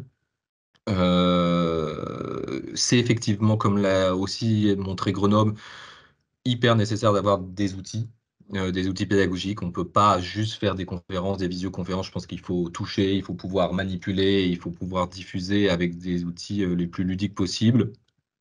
Euh, c'est aussi important, et c'est nous peut-être là où on pêche le plus, et je suis admiratif de, Grenoble, euh, un lien important à avoir entre services techniques et services techniques ou, euh, travaux et, et, bah, ces gens qui agissent sur les consommations, parce qu'on parle de sobriété, mais tout de suite on nous dit et les travaux, quand est-ce qu'on change les menuiseries, quand est-ce qu'on va mettre des stores, et c'est difficile de dire, enfin on tient le discours, mais ici on parle d'usage les travaux, c'est parallèle, mais c'est pas forcément euh, le même service. Et en plus, avec 6000 équipements, on peut pas avoir des travaux partout. Euh, et enfin, ce qu'on note, c'est pour ça aussi qu'on posait des questions à Grenoble sur euh, les moyens humains et les moyens financiers, une très grande implication de la collectivité. Donc, c'est surtout Emma et moi pour l'instant. Euh, on fait des ateliers réguliers, on accompagne les établissements. Nous aussi, on, va les voir, euh, les voir en, direct, en, B2B. Ils sont très demandeurs d'accompagnement personnalisé euh, bah, pour, pour, les aider à, mettre des choses en place chez eux. Et quand même déjà des point très positif. Euh, on sent que plus on avance, plus les relais sont, motivés. Là, on, sort de l'atelier numéro 2 qu'on a fait il y a deux jours. Et, bah, déjà, les ateliers ne se sont pas désemplis. Euh, les gens étaient toujours, toujours investis et presque de plus en plus. Ils ont commencé à nous faire euh, un retour d'expérience de ce qu'ils avaient mis en place. Donc ça, c'était assez encourageant. Ça crée une émulation collective, très clairement. Des bénéfices personnels aussi, puisqu'ils ont rapporté ça aussi chez eux, ils ont, sont plus attentifs à leur consommation, et aussi un co-bénéfice vraiment non négligeable, c'est que, à notre sens, c'est un des rares, voire le seul dispositif à la ville de Paris euh, qui regroupe 10 directions autour de la table, tout niveau hiérarchique confondu. Donc, je vous disais, de, l'agent de maîtrise à la directrice de crèche ou d'EHPAD ou sous-directrice. Et euh, bah, mettre 10 directions de la ville de Paris autour de la table, c'est très sportif. Et d'ailleurs, sans des fois l'accord des directions en elles-mêmes. Euh, voilà, merci. Et euh, ben, on, écoute vos questions. Euh, Emma et moi, on, peut répondre l'un ou l'autre.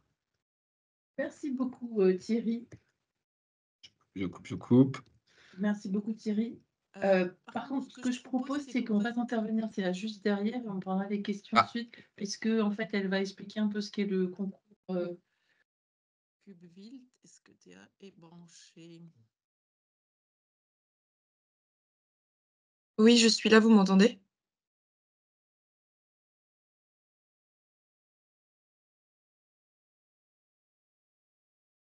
Allô, allô? Est-ce que vous m'entendez? Oui? Ah. ah mince. C'est bon, c'est bon, non, non, pas de souci. Vous m'entendez? Ah super. OK, top. Alors, pardon, je reprends la main, euh, pour partager le diapositive.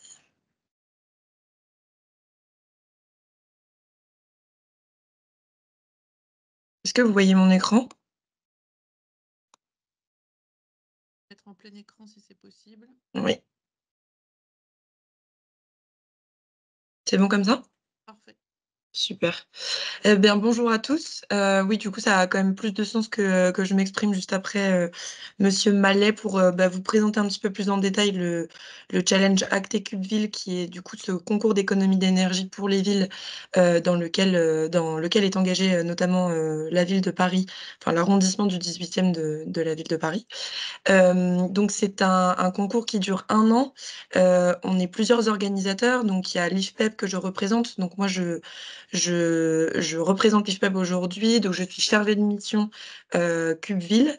Euh, et l'IFPEP, c'est l'Institut pour la performance du bâtiment. On est euh, une association professionnelle qui rassemble les, les acteurs euh, économiques de la construction et du bâtiment pour essayer de trouver euh, des, solutions pour décarboner le milieu de la construction et du bâtiment, qui sont donc extrêmement émetteurs en carbone. Et ça fait à peu près dix ans qu'on qu'on pilote les concours Cube. Alors, il y en a plusieurs et on les a regroupés sous l'égide d'un grand championnat des économies d'énergie. il y a plusieurs concours cubes selon des typologies de bâtiments et selon des, acteurs spécifiques. Là, voilà, on a, vraiment créé un concours à destination des villes. et on est sur, ce challenge en partenariat évidemment avec le CEREMA, donc le Centre d'études et d'expertise au risque, à l'environnement, à la mobilité, à l'aménagement. Donc, ils ont une compétence bâtiment qui est extrêmement précieuse dans le concours. Et on est aussi financé et piloté par Acté. je crois que Mathias Carteron du programme est présent aujourd'hui, donc on aura l'occasion de, préciser aussi les missions du programme Acté. Et en fait, c'est un programme qui capte les certificats d'économie d'énergie, donc c'est aussi par les certificats d'économie d'énergie qu'on est en, en, majeure partie financé. et on a un partenariat avec Enedis et GRDF pour tout le côté suivi des consommations, mais j'y reviendrai. Euh, donc là, on est sur euh, la première saison qui a commencé en janvier et qui court euh, jusqu'à fin décembre.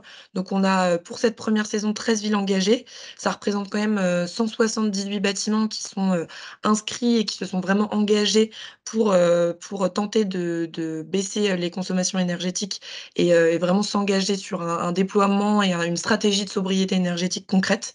Et ça représente plus de, de 600 000 m2 embarqués. Euh, au sein du concours Cubeville, toutes les typologies de bâtiments peuvent être euh, inscrites.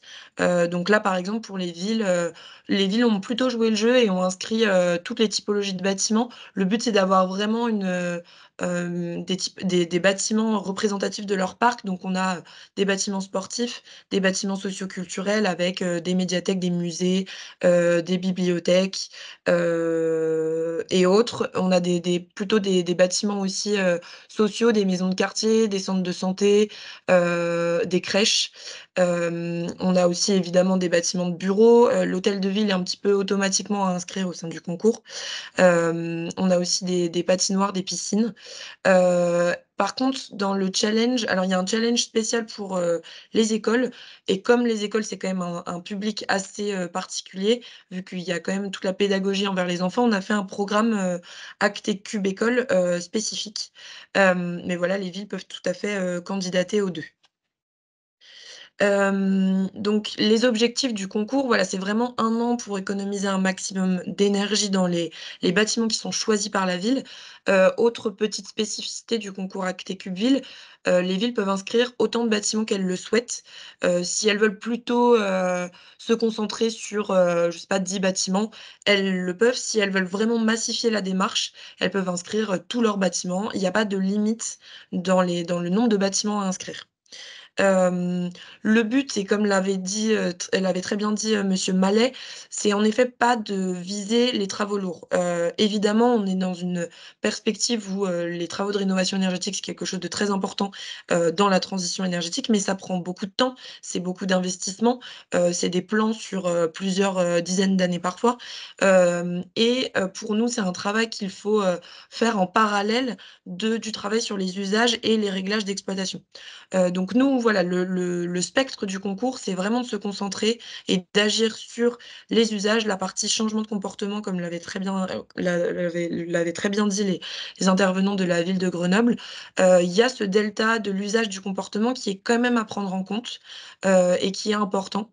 Euh, donc nous, c'est vraiment sur ça qu'on veut agir et on vient agir évidemment sur aussi les réglages, les affinages techniques, parce que le, comportement ne va pas sans cette partie réglage le, le, challenge CubeVille, c'est un outil aussi ludique et une méthodologie un peu prête à l'emploi pour aider les villes à atteindre les objectifs du dispositif éco-énergie tertiaire. Alors, il n'y a pas forcément des. Souvent, les villes inscrivent quand même des, bâtiments qui sont déjà soumis au, décret tertiaire, mais pas que. Il y a aussi des bâtiments en dessous de 1000 m2 qu'elles choisissent d'inscrire et c'est très bien. Ça leur permet aussi d'avancer sur le, dans la transition énergétique et pas de se concentrer juste sur ce que la réglementation aussi définit. L'objet, enfin le, le, challenge CubeVille, c'est vraiment un défi collectif et un projet transversal. Je crois que c'est aussi ce qui est ressorti des, des dires de, de Monsieur Mallet. Euh, c'est vrai qu'on vient, comme c'est à destination des, à destination pardon des agents de différentes directions, de différents services, euh, pour vraiment créer euh, ce réseau et ces, ces équipes relais au sein de la de la collectivité.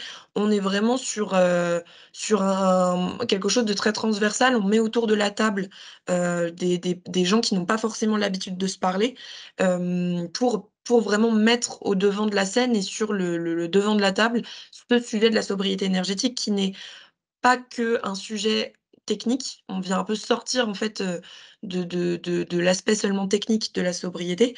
Euh, souvent, les gens se très vite, on se dit, bah voilà, là, il y a, ça qui va pas, on pourrait faire de la maintenance, on pourrait faire ça en termes techniques, alors qu'en fait, il y, a des, petites choses, il y a des gestes, il y a des habitudes à changer qu'on vient aussi viser. Et ça, c'est vraiment que en, discutant, en échangeant. Euh, donc c'est un projet assez intéressant aussi pour faire du lien entre les équipes. Et c'est un projet qui a du sens parce que euh, c'est agir finalement pour euh, le, bien commun, le confort aussi collectif, et puis la sobriété énergétique. C'est un espace pour souvent pour les villes d'expérimentation. Et j'aime bien cette phrase de, Madame Rousserie, qui est donc responsable de l'unité énergie à la ville d'Angers, qui, alors, voilà, les, villes se sont aussi beaucoup euh, bougées euh, à la suite du plan de sobriété nationale. Donc, elles ont déjà fait des choses, parfois. Parfois, elles, partent un peu de, rien, parfois elles ont déjà fait des choses, elles ont déjà fait des économies d'énergie, mais elles veulent aller plus loin euh, et c'est vraiment un outil pour se dire, bah voilà, on, vient pas se juger, on, fait partie aussi d'un challenge euh, où on va venir se nourrir des autres villes, on va venir échanger avec les autres villes, euh, donc on n'est pas là pour se juger, on n'est pas là pour pointer du doigt quiconque, mais plutôt pour euh, tester des choses euh, et et d'ailleurs, quitte à revenir en arrière, et ça, je trouve ça assez intéressant à dire. Euh, donc là, on est, on est au début du challenge, hein, ça a commencé euh, en janvier, donc j'ai pas forcément euh, des résultats à vous communiquer. Par contre, ce que je peux vous dire, c'est que les villes sont quand même très motivées, les agences sont quand même assez impliquées. voilà, je vous ai mis des petites verbatimes de, de alors, comme le disait Monsieur Mallet, le portage politique, il est quand même important. en effet, je pense que ça ajoute une certaine motivation, une certaine comment dire, un, un, appui, une certaine légitimité au projet quand il y a le maire qui vient et qui fait une intervention, qui amène son soutien. Cependant, pour moi, pour nous, c'est pas forcément indispensable. C'est quand même mieux quand il y a un portage politique, mais euh, euh, notamment à la ville d'Angers, euh, c'est la ville de Béchu, donc un peu automatiquement, il y a, cette, éco-exemplarité-là. Mais voilà, les, les, agences sont, sont, quand même assez impliquées sur cette question. Pardon, je continue. Les villes s'inscrivent aussi pour différents aspects. On y reviendra. En fait, il y a la possibilité au sein du, challenge de faire son diagnostic et de faire un, diagnostic participatif avec les usagers. donc, c'est vraiment faire l'état des lieux techniques et usage de son bâtiment, de passer dans toutes les pièces avec. souvent, voilà, le, le but c'est de le faire. c'est plutôt un. C'est pas vraiment un audit technique très très précis. Le but, c'est que c'est vraiment des questions qui sont à la portée de tous. Et c'est vraiment passer dans son bâtiment, passer dans, dans, les salles et voir tous les petits dysfonctionnements et toutes les, peut-être les, mauvaises habitudes qui, qui, qui, existent dans les, dans les bâtiments. Donc voilà, ça c'est assez prisé par les villes et je pense que c'est aussi le, le, le, début de la méthodologie. Le, évidemment, le, le début, c'est quand même, enfin le pour savoir euh, où est-ce qu'il faut faire des économies d'énergie, il faut euh, avoir euh, un état des lieux de son bâtiment. Ensuite, et c'est quelque chose qui est ressorti dans une de nos villes inscrites, la ville de Cergy, euh, c'est le Cubeville, c'est aussi l'occasion et un argument pour revoir les contrats d'énergie.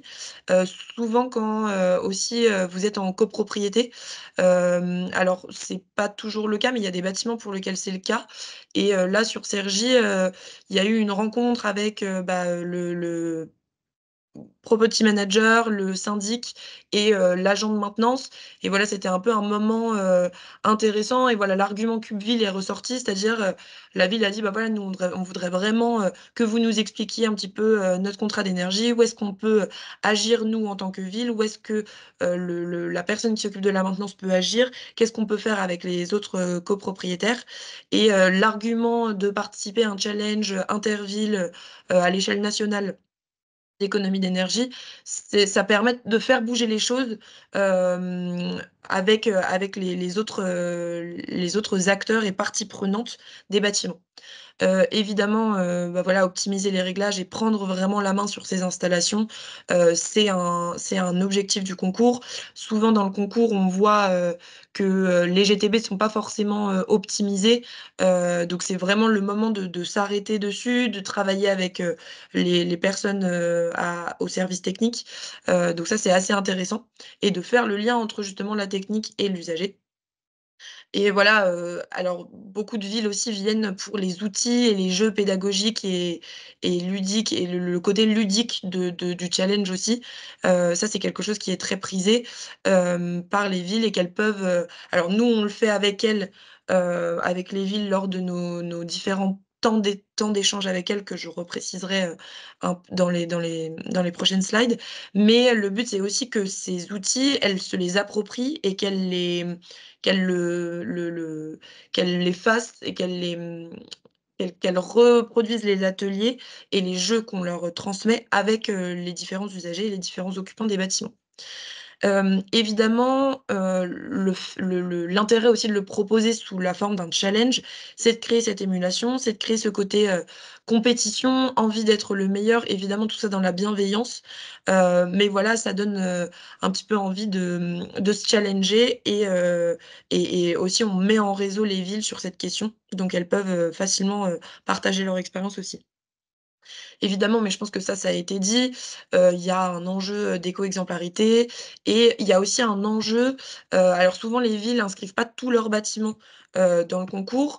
Je crois qu'il y a enfin voilà, dans l'intervention de la ville de Grenoble, il y avait cette question d'aller voir ceux qui ont envie d'y aller. Je pense que c'est assez important, si, heu, on force les gens à y aller et on va s'adresser à ceux qui sont le plus réfractaires, ça peut être un peu compliqué. Par contre, heu, je pense que les bâtiments qui sont inscrits, hem, peuvent donner l'exemple et inspirer les autres bâtiments à avoir envie de se challenger et de tester, les outils et de vraiment s'embarquer dans un plan de sobriété, un peu avancé. Donc il y a un côté boule il y a un effet boule de neige qui peut être intéressant, même au sein même de la ville. Heu, évidemment, bah, heu, ça on l'a déjà dit, mais baisser ses factures, heu, énergétiques de manière rapide et pérenne. Le but, c'est que nous, c'est vrai qu'on a des temps d'accompagnement, sur une année. Le but, c'est pas qu'à la fin de l'année, il y ait plus rien qui se passe, mais que nous, on accompagne la ville aussi à s'automiser sur cette question, enfin à vraiment prendre de l'autonomie. Nous, on livre tous les outils, toutes les ressources et la philosophie, de la sobriété énergétique et après c'est à à la ville de vraiment s'en emparer et de pérenniser les actions et les efforts. Derrière, nous, ce qu'on essaie de faire aussi, c'est de évidemment, créer une mobilisation citoyenne et là, je prends la la, l'exemple de la ville d'Hendaye qui avait fait, heu, lors de son événement de lancement, heu, au concours, une partie pour les pour les agents et c'est vraiment notre première cible, mais aussi une partie pour les citoyens pour, heu, les informer des efforts de la ville, les informer de la démarche dans laquelle la ville s'engage et de leur demander eux aussi leurs idées, via il y avait une boîte à idées qui était, qui avait été installée, leurs idées, échanger avec eux et voir aussi en tant on fait pas les mêmes gestes en tant que particulier qu'en tant qu'occupant de bâtiments publics parce que, bah, malgré tout ça on en est un peu à là. Quand c'est nous qui payons la facture, on fait quand même plus attention. Donc là, c'est aussi, heu, discuter de tout ça et heu et montrer que la ville est, voilà, vraiment engagée, heu, dans une démarche et qu'elle, fait des efforts pour, dans ce sens-là.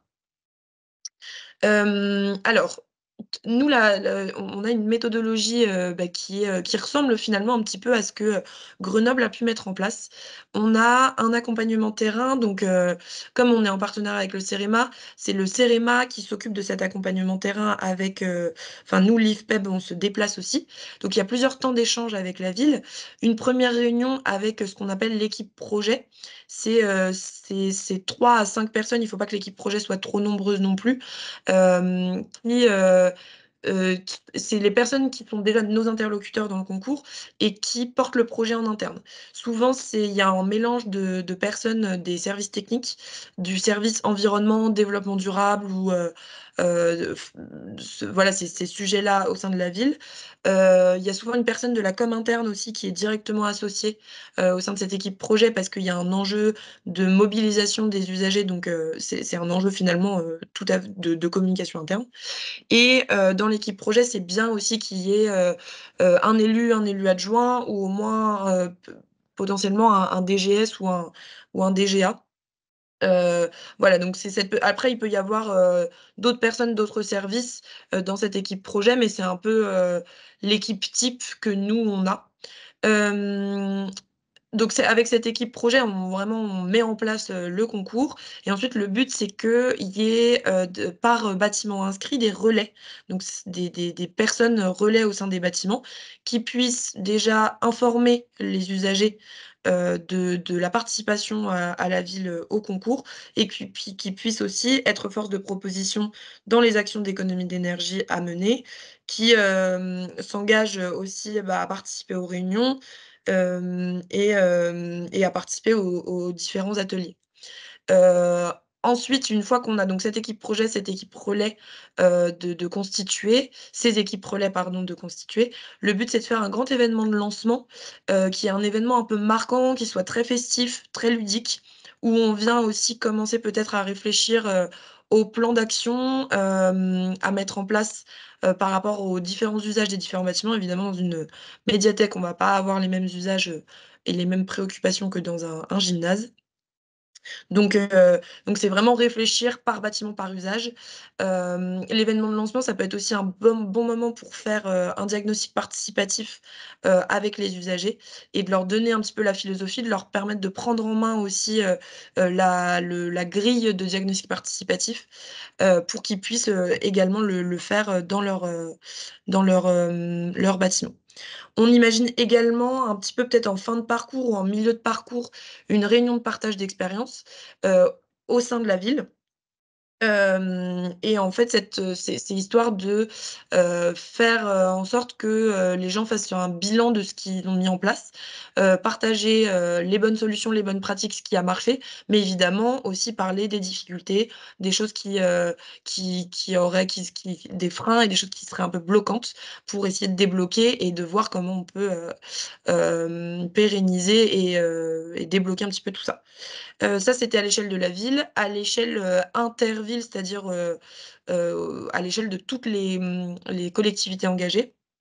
On imagine aussi, je ne voulais pas forcément mis là, mais on imagine aussi des temps d'échange au cours de l'année pour que, bah, je ne sais pas, les différentes médiathèques, les différentes personnes des médiathèques de la ville puissent se parler, les différentes personnes des gymnases ou des piscines puissent se parler et s'échanger les bonnes pratiques.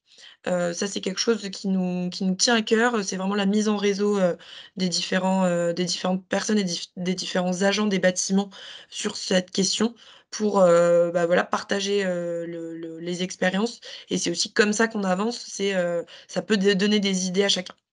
Sur les outils, je ne vais pas forcément m'attarder.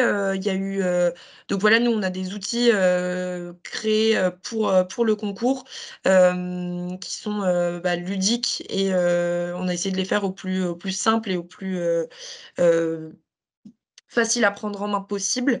Et tous ces outils peuvent être transmis aux villes. donc, on a les petits, les petits cubes avec des, des idées d'éco-gestes, un jeu de cartes Dixit qui, qui est un peu un brise-glace. On aime bien le faire en, en, réunion. et on pose la question pour vous, quelle carte représente le, le, changement? On a aussi des, des, guides et des choses peut-être un petit peu plus formelles, c'est-à-dire voilà, comment constituer son équipe projet comment constituer son équipe relais. Pardon, je prends un peu de temps. Euh, ouais, j'essaie d'avancer au plus vite. Enfin voilà, plein de plein d'outils de ressources ludiques à prendre en main. Je pense que Thierry Mallet avait aussi, en avait très bien parlé, donc euh, je m'attarde pas là-dessus. Quelques images juste pour euh, illustrer les diagnostics participatifs avec, les villes et, les mini-diagnostics qu'on peut mener aussi avec les usagers. Voilà, des photos d'équipe pour montrer que voilà, les, agents sont quand même assez impliqués dans le concours. et qu'il y a vraiment une dynamique de groupe en fait qui se, qui se crée et ça c'est vraiment la chose à retenir et la chose importante.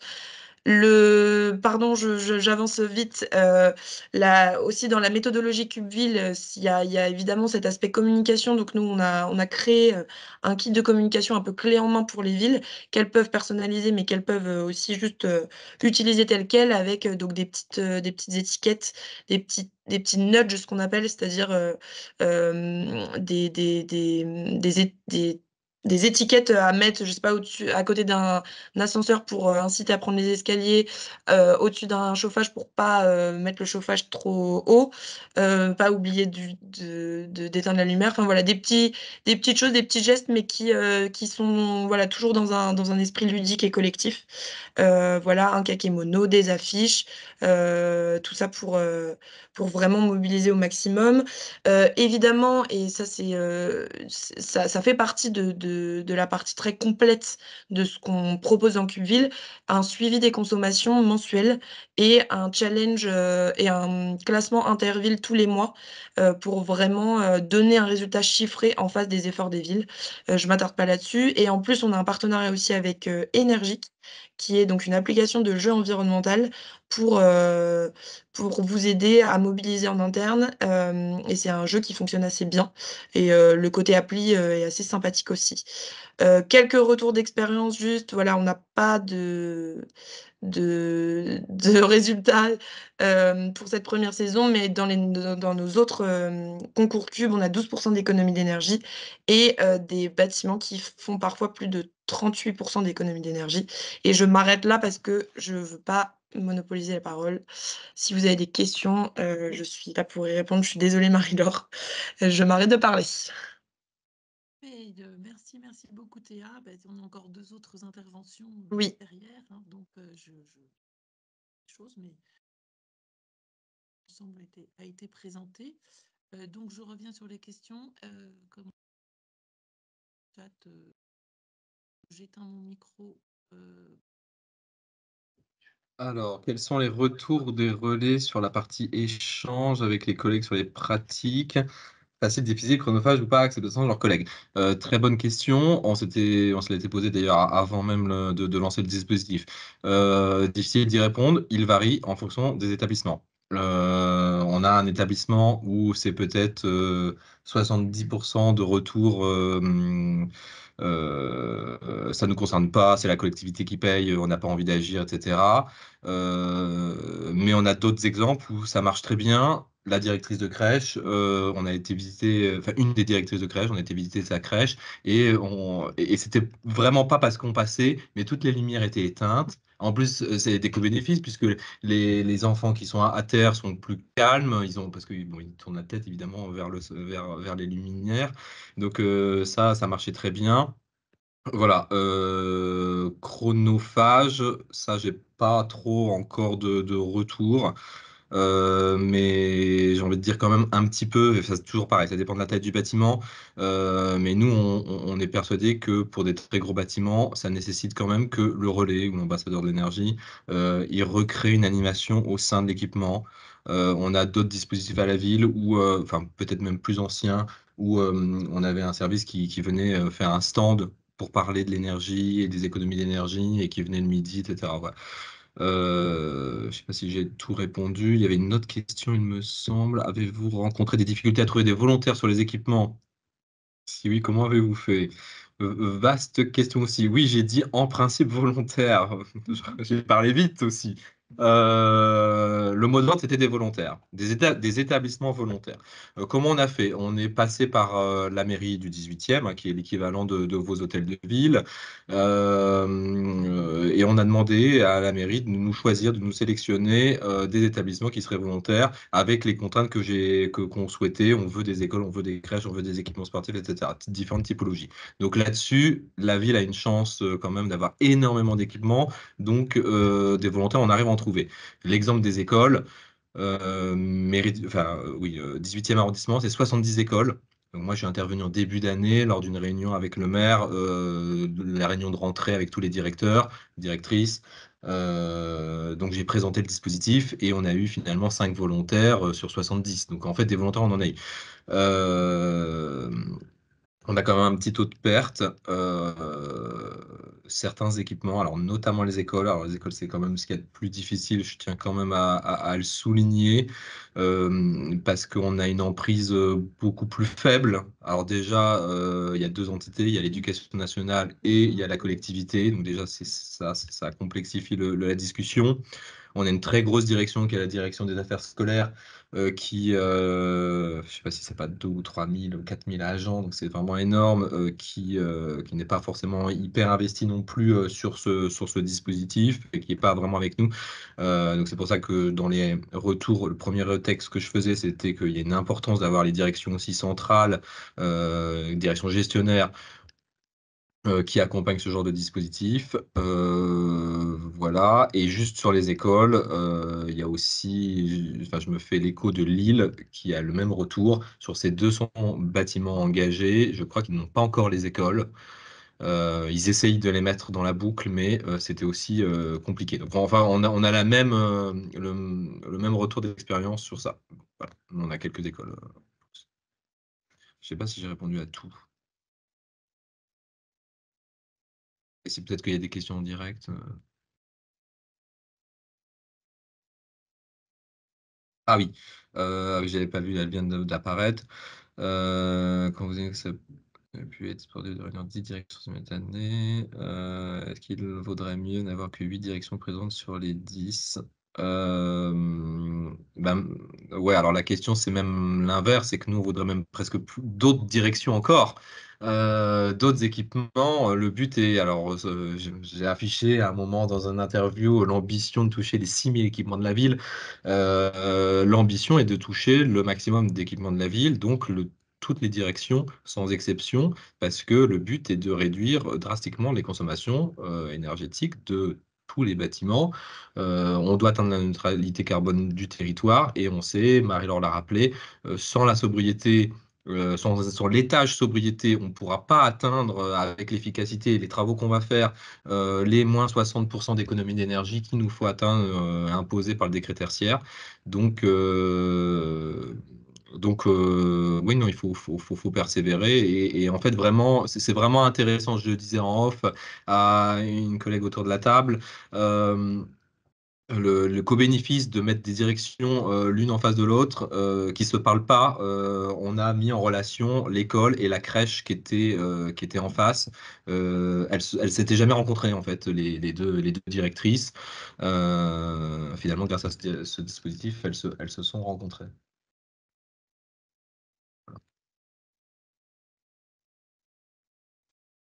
Je ne sais pas si Théa veut a- a- ajouter quelque chose et, et en même temps, on va installer euh, la présentation euh, de Chaville et la partager.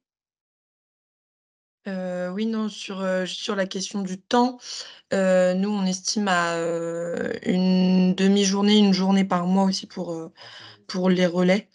Euh, après, au plus de... Enfin, les, les, les gens qui sont les plus motivés euh, peuvent parfois euh, y passer plus de temps. Euh, et en fait, plus il y a d'équipes relais et plus il y a de, de, de ces fameux éco-ambassadeurs ou peu importe leur titre, mais plus ça marche et plus la charge aussi de, de travail est répartie. Donc voilà, c'est vraiment créer une dynamique de groupe qui est, qui est intéressante et qui est, qui est fondamentale.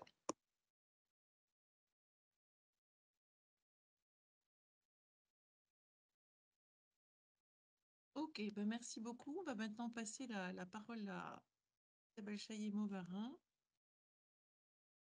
Et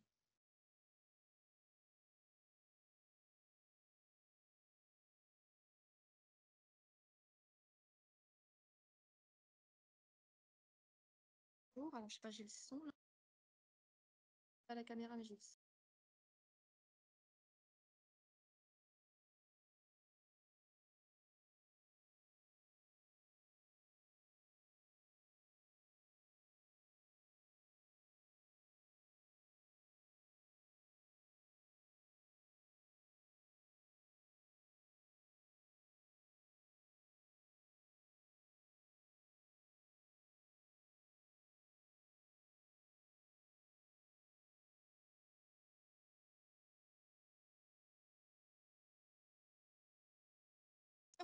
On la déroule dans le. Alors, alors, ouais. Je suis pas plan-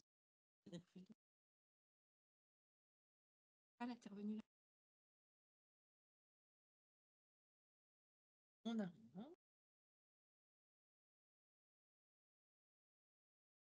Voilà.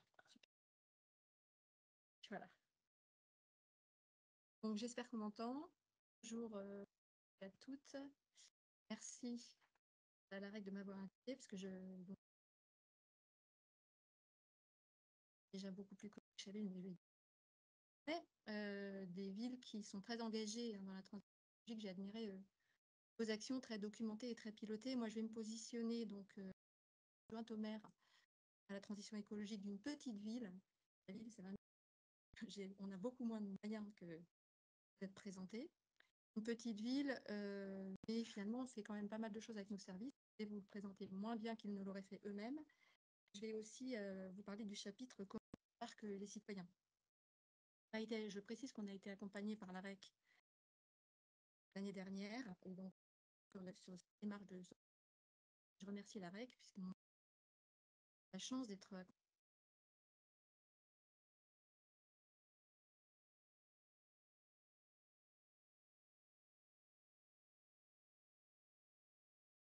sur mon PC, je suis sur le PC.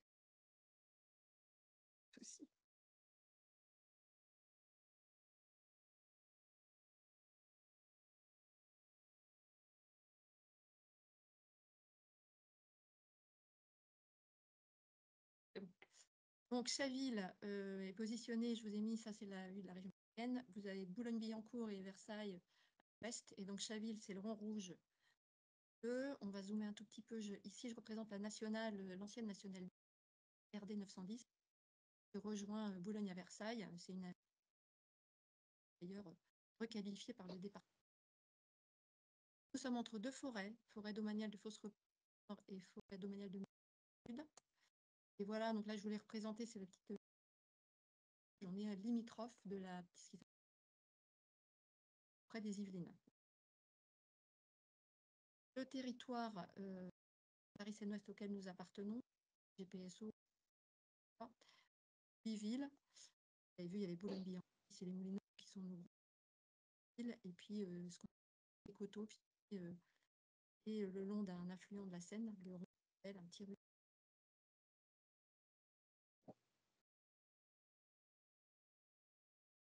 Ah, je passe. On avait ancré, grâce à Marie-Laure et à l'AREC, euh, l'histoire de la sobriété dans l'histoire de la ville. On est passé très vite, mais euh, notre petite ville qui n'est pas connue, elle a quand même une histoire de 12 siècles. Et en fait, euh, Chaville, ça vient de Inchadus, qui était qui avait fondé un, un pour soigner les convalescents. de- Là, à droite, vous avez l'allée d'arbres euh, qui, justement, maintenant,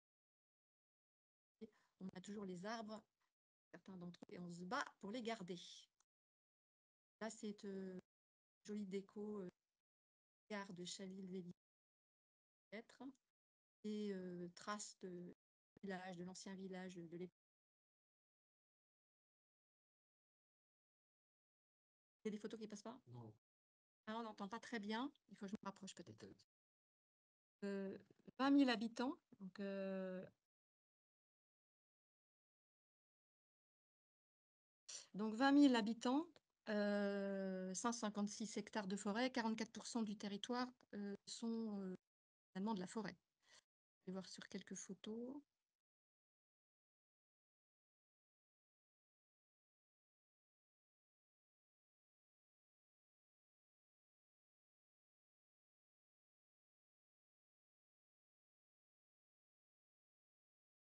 Je peux faire suivante.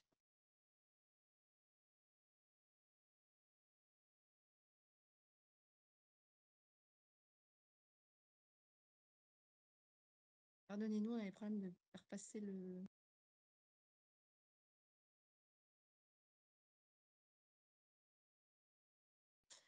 Une vue, aérienne euh, euh, de la ville. Donc là, l'axe que vous voyez, il va vers le sud, il va vers le plateau de Vélizy qu'on voit tout au fond, euh, au-dessus de la forêt. Et on voit effectivement que notre ville est donc bah, un petit écrin de. est dans un écrin de verdure. Avec quelques images de notre forestier. On a des, des petits chemins, euh, petites sentes comme ça. On essaye de, de mettre en valeur dans notre PLUI. Des mares. Le chêne de la Vierge. Alors là, il, il y a des courses très connues comme le trail qui passe, euh, passe à proximité de cette, euh, cet endroit. On a un acrocamp, on est très fiers. Alors, euh, maintenant, après des présentations, euh, je vais vous parler de notre démarche globale vers plus de sobriété. Ça va être, euh, pas, je n'ai pas fait un plan, j'ai quelques rubriques qui ont développé ce qu'on fait sur la sobriété et je vais les aborder les unes après les autres. Donc l'énergie, précédemment, qu'est-ce qu'on fait sur l'énergie sur une petite ville de 20 000 habitants? Alors on a beaucoup axé nos premières actions sur l'économie d'électricité la nuit. On a parlé d'éclairage nocturne avec d'autres villes. Chaville, 20 000 habitants, n'a pas une vie nocturne très, très folle, on va dire. Et donc, on a trouvé que c'était quand même un peu... Plus, on est entouré de forêts, donc par rapport à la biodiversité, c'était quand même intéressant d'éteindre la lumière pour éviter que les populations, la population euh, ne soit effrayée de, de la nuit. On a fait beaucoup d'actions. de sensibilisation pour renouer avec la nuit. Donc on a, on a surfé sur cette fête du jour de la nuit qui est nationale. Internationale, je sais pas. Et donc on, on- depuis deux ans, on organise une fête le soir avec des gens qui font de la musique dans le noir. Et on, déambule dans la ville, ce qui fait passer le message que la nuit, ça peut être aussi sympa, etc. Donc on a, on a éteint, c'est pas très ambitieux, mais entre 1h et 5h du matin. Pourquoi? Parce qu'en fait, on est dans, en région parisienne avec des gares, et des gares qui ont des trains qui peuvent arriver jusqu'à 1h du matin ou repartir à partir de 5h du matin. Et donc, il faut quand même évidemment laisser les gens accéder aux gares euh, sécurité, euh, ne serait-ce que ne pas tomber dans un trou ou trouver du trottoir. Et nous sommes en train d'équiper la ville en LED grâce à notre, à territoire. Et ça, évidemment, ça va nous donner d'autres peut-être possibilités de mieux moduler euh, la puissance lumineuse en fonction des horaires et des besoins localisés à certains endroits de la ville, peut-être plus sensibles que d'autres. Tout à l'heure, j'entendais Grenoble avait rallumé des parcs. On sera aussi à l'écoute des citoyens s'il y a des besoins de ce genre qui, se, qui sont mis en évidence. Toujours sur ce chapitre de l'énergie, on a fait plein d'autres choses que, autres que l'extinction lumineuse. On a un plan de sobriété énergétique de la ville qu'on a mis en place en 2022. Euh, je dois avouer qu'effectivement, la guerre en, Ukraine, entre guillemets, nous a quand même bien aidé à, mettre, à actionner ce truc-là avec beaucoup plus de volontarisme, mais voilà. Euh, on a diminué la consigne de chauffage dans les bâtiments publics, euh, dans les gymnases, ça a déjà été dit, donc euh, je ne reviens pas là-dessus. Nous avons un projet à l'étude d'extension de notre réseau de cha- chauffage urbain avec un passage à la géothermie, parce qu'aujourd'hui on est au gaz, en utilisant le Dogger, donc la, euh, sous l'île de France. Et on, est très content de ce projet. On va probablement le faire en commun avec des villes voisines qui soient. On a évidemment aussi le passage de notre parc de véhicules à l'électrique plutôt que thermique. Et alors, sur une ville de 20 000 habitants, nous avons deux vélos. Alors, j'ai pas dit la, taille de notre équipe munici- municipale, c'est 350 agents. hein, donc, rien à voir avec ce qu'on a vu avant. Donc, on a deux vélos électriques et un vélo cargo pour les agents. Euh, va être plus utilisé, hein, à mon sens. Autre chapitre sur lequel la ville se de la question de la sobriété, c'est l'alimentation. Donc, on a euh, un marché forain à Chaville avec euh, aussi dans notre ville cinq magasins bio. Donc, on fait passer pas mal de messages sur euh, manger bio, manger végétarien, venir faire, faire votre marché sans sac, etc. Ce genre de choses. Et notre gros projet du mandat, c'est une cuisine centrale pour nourrir les 1400 élèves des écoles maternelles et primaires. Ça sera une cuisine en régie, en liaison chaude pour la qualité de l'alimentation. Et projet sur l'alimentation et en même temps projet bâtimentaire, puisqu'on va utiliser un site qui existe déjà, qu'on va modifier, ramener aux meilleures normes environnementales. Mis un cahier des charges extrêmement ambitieux sur les aspects environnementaux. Et donc là, on profitera de mettre, euh, comme on va mettre les agents en régie, on va avoir une action directe de nos agents vers les familles, vers les enfants, etc. On, pourra mettre toute une démarche sur l'alimentation, de- du départ, euh, l'agriculture locale, bio, etc., jusqu'aux déchets, la limitation des déchets. Donc là, il y a vraiment un, gros enjeu. Sur ce périmètre de l'alimentation, on a aussi euh, d'autres euh, choses qu'on peut travailler. On a des jardins familiaux, quatre sites qui sont répartis sur la ville. On a deux jardins partagés. On a fait planter des arbres fruitiers un peu partout dans la ville en remplacement de, massifs qui étaient peut-être plus esthétiques, mais on a dit qu'on préfère mettre des arbres fruitiers. Nous avons deux vignes qui sont entretenues, euh, une par les espaces verts et l'autre avec une association. Et chaque année, il y a des vendanges collectives qui sont organisées avec les citoyens et même les écoles. Et euh, notre, euh, l'association commercialise le Chavignon, qui n'est peut-être pas mondialement connu, peut se- qui, se laisse boire. Euh, la ville a lancé en 2023 un, concours Mes recettes végétariennes pour inciter les- à manger plus végétarien en faisant des choses qui sont super bonnes puisque chacun peut partager ses recettes. On, espère- on- on continue à, travailler sur ce concours, qu'on n'a une qu'une quinzaine de réponses, mais on va faire un petit livre, enfin on va les mettre en valeur. On a une conseillère municipale qui a la délégation résilience alimentaire, ça c'est sur l'aspect euh, euh, résilience. hein. Si la région parisienne euh, est coupée de, sa province, on sait qu'on n'a que trois jours de, de réserve, donc il faut y réfléchir. On a aussi l'aspect colis alimentaires qui sont distribués par des associations caritatives sur notre ville et qui utilisent entre autres les excédents de nos commerçants et les excédents des jardins partagés. La sobriété sur l'eau. Alors, sur l'eau, il y a plein de choses à dire. Euh, Chaville, en fait, est une ville, historiquement, je vous ai parlé du rue de Marivelle, et donc il y avait des lavandières qui lavaient le linge du château de Versailles. Il y a, de, l'eau partout. Donc, on a une mare pédagogique sur laquelle on explique aux enfants ce que c'est que la, biodiversité euh, des mares. On en a une en lisière de forêt qui a été remise en, état par une association qui s'appelle Espace, une association qui fait de l'insertion par l'emploi et l'écologie urbaine. On a une source sur le domaine de l'ONF, mais en lisière de la ville, qui a été remise en état par une association de quartier. Et euh, on met partout euh, des essences plantées qui sont résistantes à la sécheresse pour faire passer le message que climat change. Nous avons des cours oasis pour nos écoles. Alors, elles ne sont pas toutes encore équipées de cours oasis, mais on a un programme de, déploiement. Des coins jardinage, en revanche, dans toutes nos écoles. Il y a un, un, une photo ici où on voit des bacs euh, qui sont euh, donc euh, exploités par les enfants. Il y a des récupérateurs d'eau dans les écoles. Nous avons publié un guide, un guide pour une gestion naturelle de l'eau qui est à disposition des Chavillois pour leurs projets privés et qui est aussi valable pour l'espace public. Il a été conçu avec une agence spécialisée et il est vraiment plein de, très bonnes informations sur, euh, l'eau. Et puis Chaville est signataire d'un contrat, le contrat eau, euh, trame verte et bleue et climat, avec des partenaires qui sont euh, l'Agence de l'eau Seine-Normandie, la région Île-de-France et la métropole du Grand Paris, qui permet de, travailler à des, projets de résurgence des sources et des rues.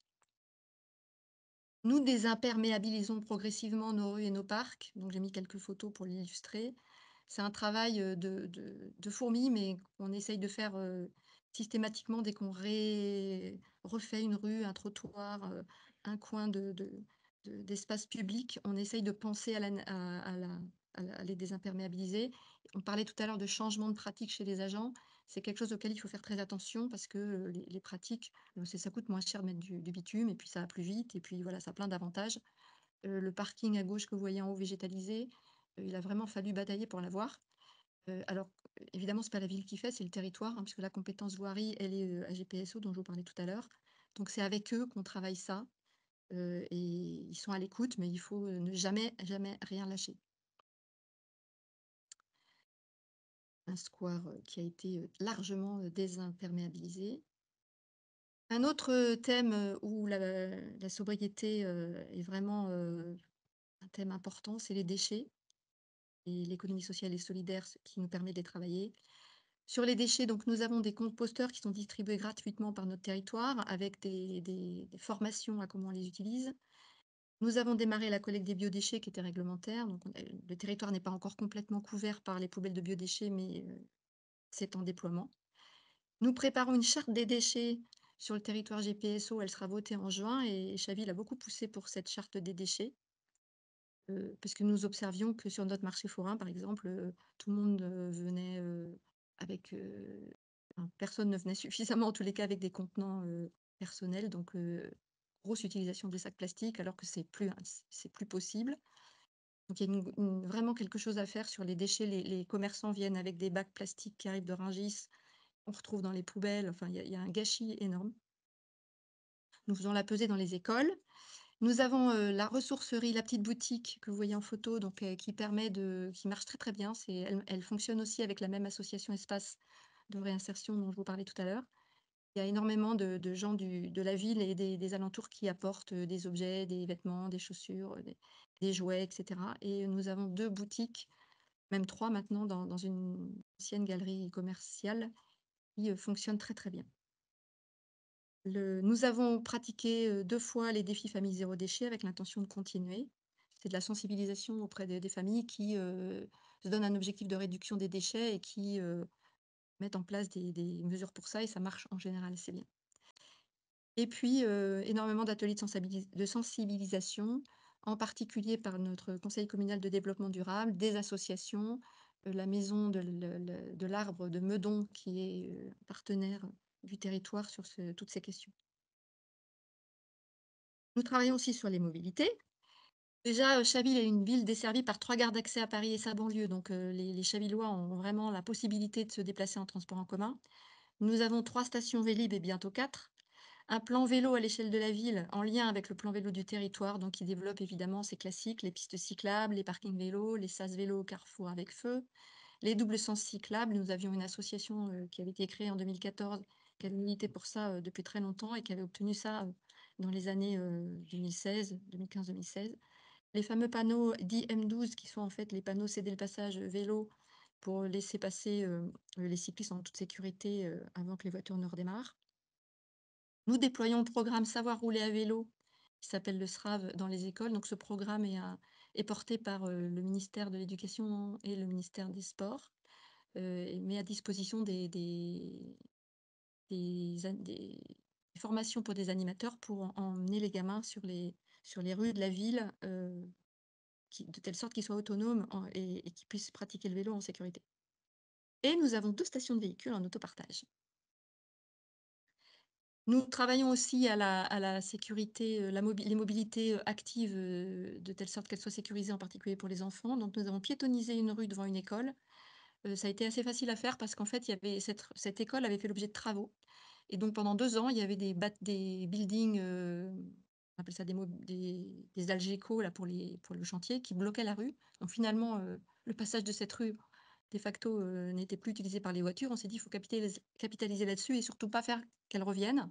Donc là, il y a eu vraiment quelque chose de collectif, un groupe de travail avec les enseignants, les voisins, le conseil de quartier, la ville. On n'a oublié personne pour discuter de la fermeture définitive de cette rue et de comment on allait la réaménager. Et donc, vous avez quelques photos ici. Donc, c'est une rue qui est aussi fortement euh, désimperméabilisée. Et puis, à la demande de riverains de petites rues, qui étaient dans des zones 20, nous avons expérimenté la fermeture de ces rues les week-ends, au trafic automobile et nous allons le reconduire puisque ça a été, largement plébiscité par, les voisins. Les aspects sensibilisation, bien évidemment, ça c'est aussi le rôle, des mairies et des élus. Ici, le, parc de notre hôtel de ville, un petit bout euh, où on a planté des jardins, des fruitiers. Et nous avons ouvert euh, quelque chose dont je suis très fière, qui s'appelle le lézard vert. Donc tout à l'heure, la mascotte de Grenoble avec son petit euh, manchot, je me dis que nous, ça pourrait être notre lézard vert, notre mascotte. C'est une bonne idée.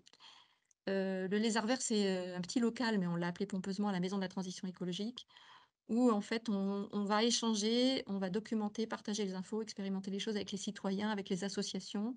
Là, on voit des photos de la journée porte ouverte qui s'est tenue le week-end dernier il y aura énormément, on espère, d'échanges au niveau de ce petit local. Et puis, nous avons un programme aussi au niveau des périscolaires et des scolaires de sensibilisation au respect de la biodiversité qui marche très bien. Beaucoup de pédagogie, donc je parlais de sensibilisation, chaque fois qu'on fait quelque chose qui va dans le sens de la sobriété, on l'affiche. Donc là, c'est des exemples, mais des petites pancartes comme ça, on en a beaucoup dans nos parcs ou sur les rues piétonnisées. Par exemple, ici, le revêtement de cette entrée du parc est constitué d'anciens pavés de récupération provenant d'un chantier du territoire, ou l'ensemble des bancs du parc euh, sont des anciens bancs qu'on a remis en état. À chaque fois, on, est très euh, précautionneux là-dessus. On essaye d'éviter, tant que faire se peut, d'acheter du neuf. Nous avons euh, une dynamique communale avec des organes de citoyens euh, un conseil communal de développement durable, un conseil communal de développement économique, mais le développement économique, on peut, on peut le travailler de telle sorte qu'il ne soit pas euh, dans l'ébriété. Nous avons trois conseils de quartier qui permettent de faire passer des messages au niveau des, des, citoyens, un budget participatif annuel sur lequel il est, il est possible, si on le veut, de, de, mettre des critères de sobriété. Euh, j'ai mentionné que Chaville était membre de Bruit Paris parce que c'est la question du bruit. Finalement, le bruit, faire moins de bruit, c'est aussi, on peut aussi le rattacher à de la sobriété finalement un mode de vie qui est peut-être moins dans l'ébriété. Un petit livret pédagogique qui a été distribué en mairie. Ça, je pense que c'est quelque chose d'assez classique. Un plan climat territorial, alors pour la ville, qu'on démarre en 2024, donc on est très en retard. C'est-à-dire que toutes les actions qu'on vous a montrées avant, on ne les a pas entrées dans un plan chiffré, donc il faudra qu'on fasse peut-être des estimations a posteriori. Mais par exemple, sur notre cuisine centrale, ça sera tout à fait possible, puisqu'elle ne sera ouverte qu'à la fin du mandat. Donc on va pouvoir voir l'effet de la cuisine sur notre, budget climat. Pour la suite, ben, on veut continuer à limiter nos émissions et on veut rentrer dans des démarches d'adaptation. Nous avons un projet de rénovation du parc social sans destruction. Tout à l'heure, ça a été mentionné. Évidemment, il ne faut pas détruire et reconstruire, il faut utiliser l'existant. Nous avons un plan local d'urbanisme intercommunal qui sera signé à la fin de l'année. qui va insister beaucoup sur la sobriété en termes d'utilisation des sols. Un schéma directeur des énergies qui s'inscrit dans le plan communal, dans le plan, climat, air et énergie du territoire. Un atelier, là je suis très fière, on va faire un atelier d'adaptation au changement climatique avec les élus, enfin pour les élus et pour les directeurs de services. On va faire ça en 2024. Et puis Chaville est, est lauréate d'un appel à manifestation d'intérêt de l'ADEME pour le dispositif des trajectoires d'adaptation au changement climatique des territoires. Je vous remercie pour votre attention et je suis à votre disposition en cas de questions. Merci beaucoup Isabelle. Alors, du coup, je, on va arrêter de partage parce que je sais pas où. Alors, pour le moment, pas de questions. Alors, moi, ce que je propose, c'est que pendant que les questions se font, en tout cas, je voulais juste là faire remarquer que les présentations sont très très différentes. Les villes, les tailles des villes qu'on a choisies ce matin sont très très différentes, mais les présentations sont aussi également différentes parce que vous avez chacun mis des focus sur, sur d'autres choses. Et effectivement, ce qu'on avait travaillé dans les ateliers avec Isabelle, c'était de, de, dire, mais on va aller regarder la sobriété partout où on peut la trouver. Et donc, et c'est toujours encourageant de voir qu'on on a déjà commencé des choses et que et qu'on peut continuer aussi. En tout cas, bravo. et du coup, là, je, il y a un nouveau message. voilà, ben, il y a même du bravo dans le, dans le, dans le chat. Voilà. Et du coup, heu, je propose de passer la parole à Mathias, le temps de voilà, bonjour Mathias. Bonjour à tous. Ouais. Heu, j'éteins donc, heu, mon micro. Il doit y avoir possibilité normalement de passer les slides. Oui. Hop, vous allez me dire si vous voyez bien mon diaporama. Oui, il faut le mettre en En plein écran, c'est peut-être plein mieux. écran. Est-ce que C'est bon? parfait. Parfait. Eh bien, bien, bonjour à tous. Je m'appelle Mathias Carteron. je suis chargé de mission efficacité énergétique pour le programme Acté, qui est une, qui est une filiale de la Fédération nationale des, co- des collectivités concédantes et régies, donc la FNCCR. Et moi, ma focale aujourd'hui sera notre domaine de, de compétences, notamment, qui est la sobriété énergétique, donc l'accompagnement Acté pour la sobriété énergétique. Donc je vais passer la slide si ça marche bien. Voilà. Donc Acté en bref. Nous sommes un programme C2E qui existe depuis maintenant 2019 et aujourd'hui nous avons 220 millions d'euros et ce jusqu'à fin 2026. Et ces 220 millions d'euros sont destinés à financer les projets des collectivités en lien avec l'efficacité énergétique et la sobriété énergétique. Donc, je reviendrai un peu sur les modalités de financement un peu plus tard. Par ailleurs, nous finançons donc des, économes de flux. Donc, les économes de flux sont des personnes stratégiques, des agents stratégiques au sein, euh, des collectivités euh, qui ont pour objectif euh, d'accompagner à la mise en place d'une stratégie de rénovation énergétique et, depuis peu, de stratégie de sobriété énergétique. Voilà, on identifie dans notre réseau de plus en plus de- d'économes de, flux qui s'orientent spécifiquement sur la sobriété énergétique. Donc, c'est des dynamiques que nous poussons et que nous, que nous encourageons pour, pour la mise en place de plans de sobriété. Euh, également, un autre moyen pour accompagner les collectivités, un centre de ressources en libre d'accès, euh, euh, qui produit euh, des guides, des fiches techniques, euh, des recommandations euh, pour, euh, pour toutes les collectivités, pas seulement notre, notre réseau et euh, nos lauréats. Donc, Acté, qu'est-ce que c'est? Donc, notamment, c'est Acté Plus en ce moment, euh, parce qu'on avait Acté, euh, Acté initial avec 10 millions d'euros, ensuite Acté 2 avec 110 millions d'euros, et maintenant Acté Plus avec 220 millions d'euros. Donc, nous sommes composés ainsi, donc avec le centre de ressources, une cellule d'appui, donc c'est une porte d'entrée pour les collectivités qui souhaitent se lancer dans un, dans un projet de, de rénovation énergétique ou euh, de sobriété énergétique, avec une animation régionale renforcée. Donc, avec notre équipe depuis 2019, je vous laisse imaginer, c'est beaucoup renforcé. Et nous avons euh, des chargés de mission qui sont référents euh, de différents territoires et qui sont là pour répondre à l'ensemble des questions.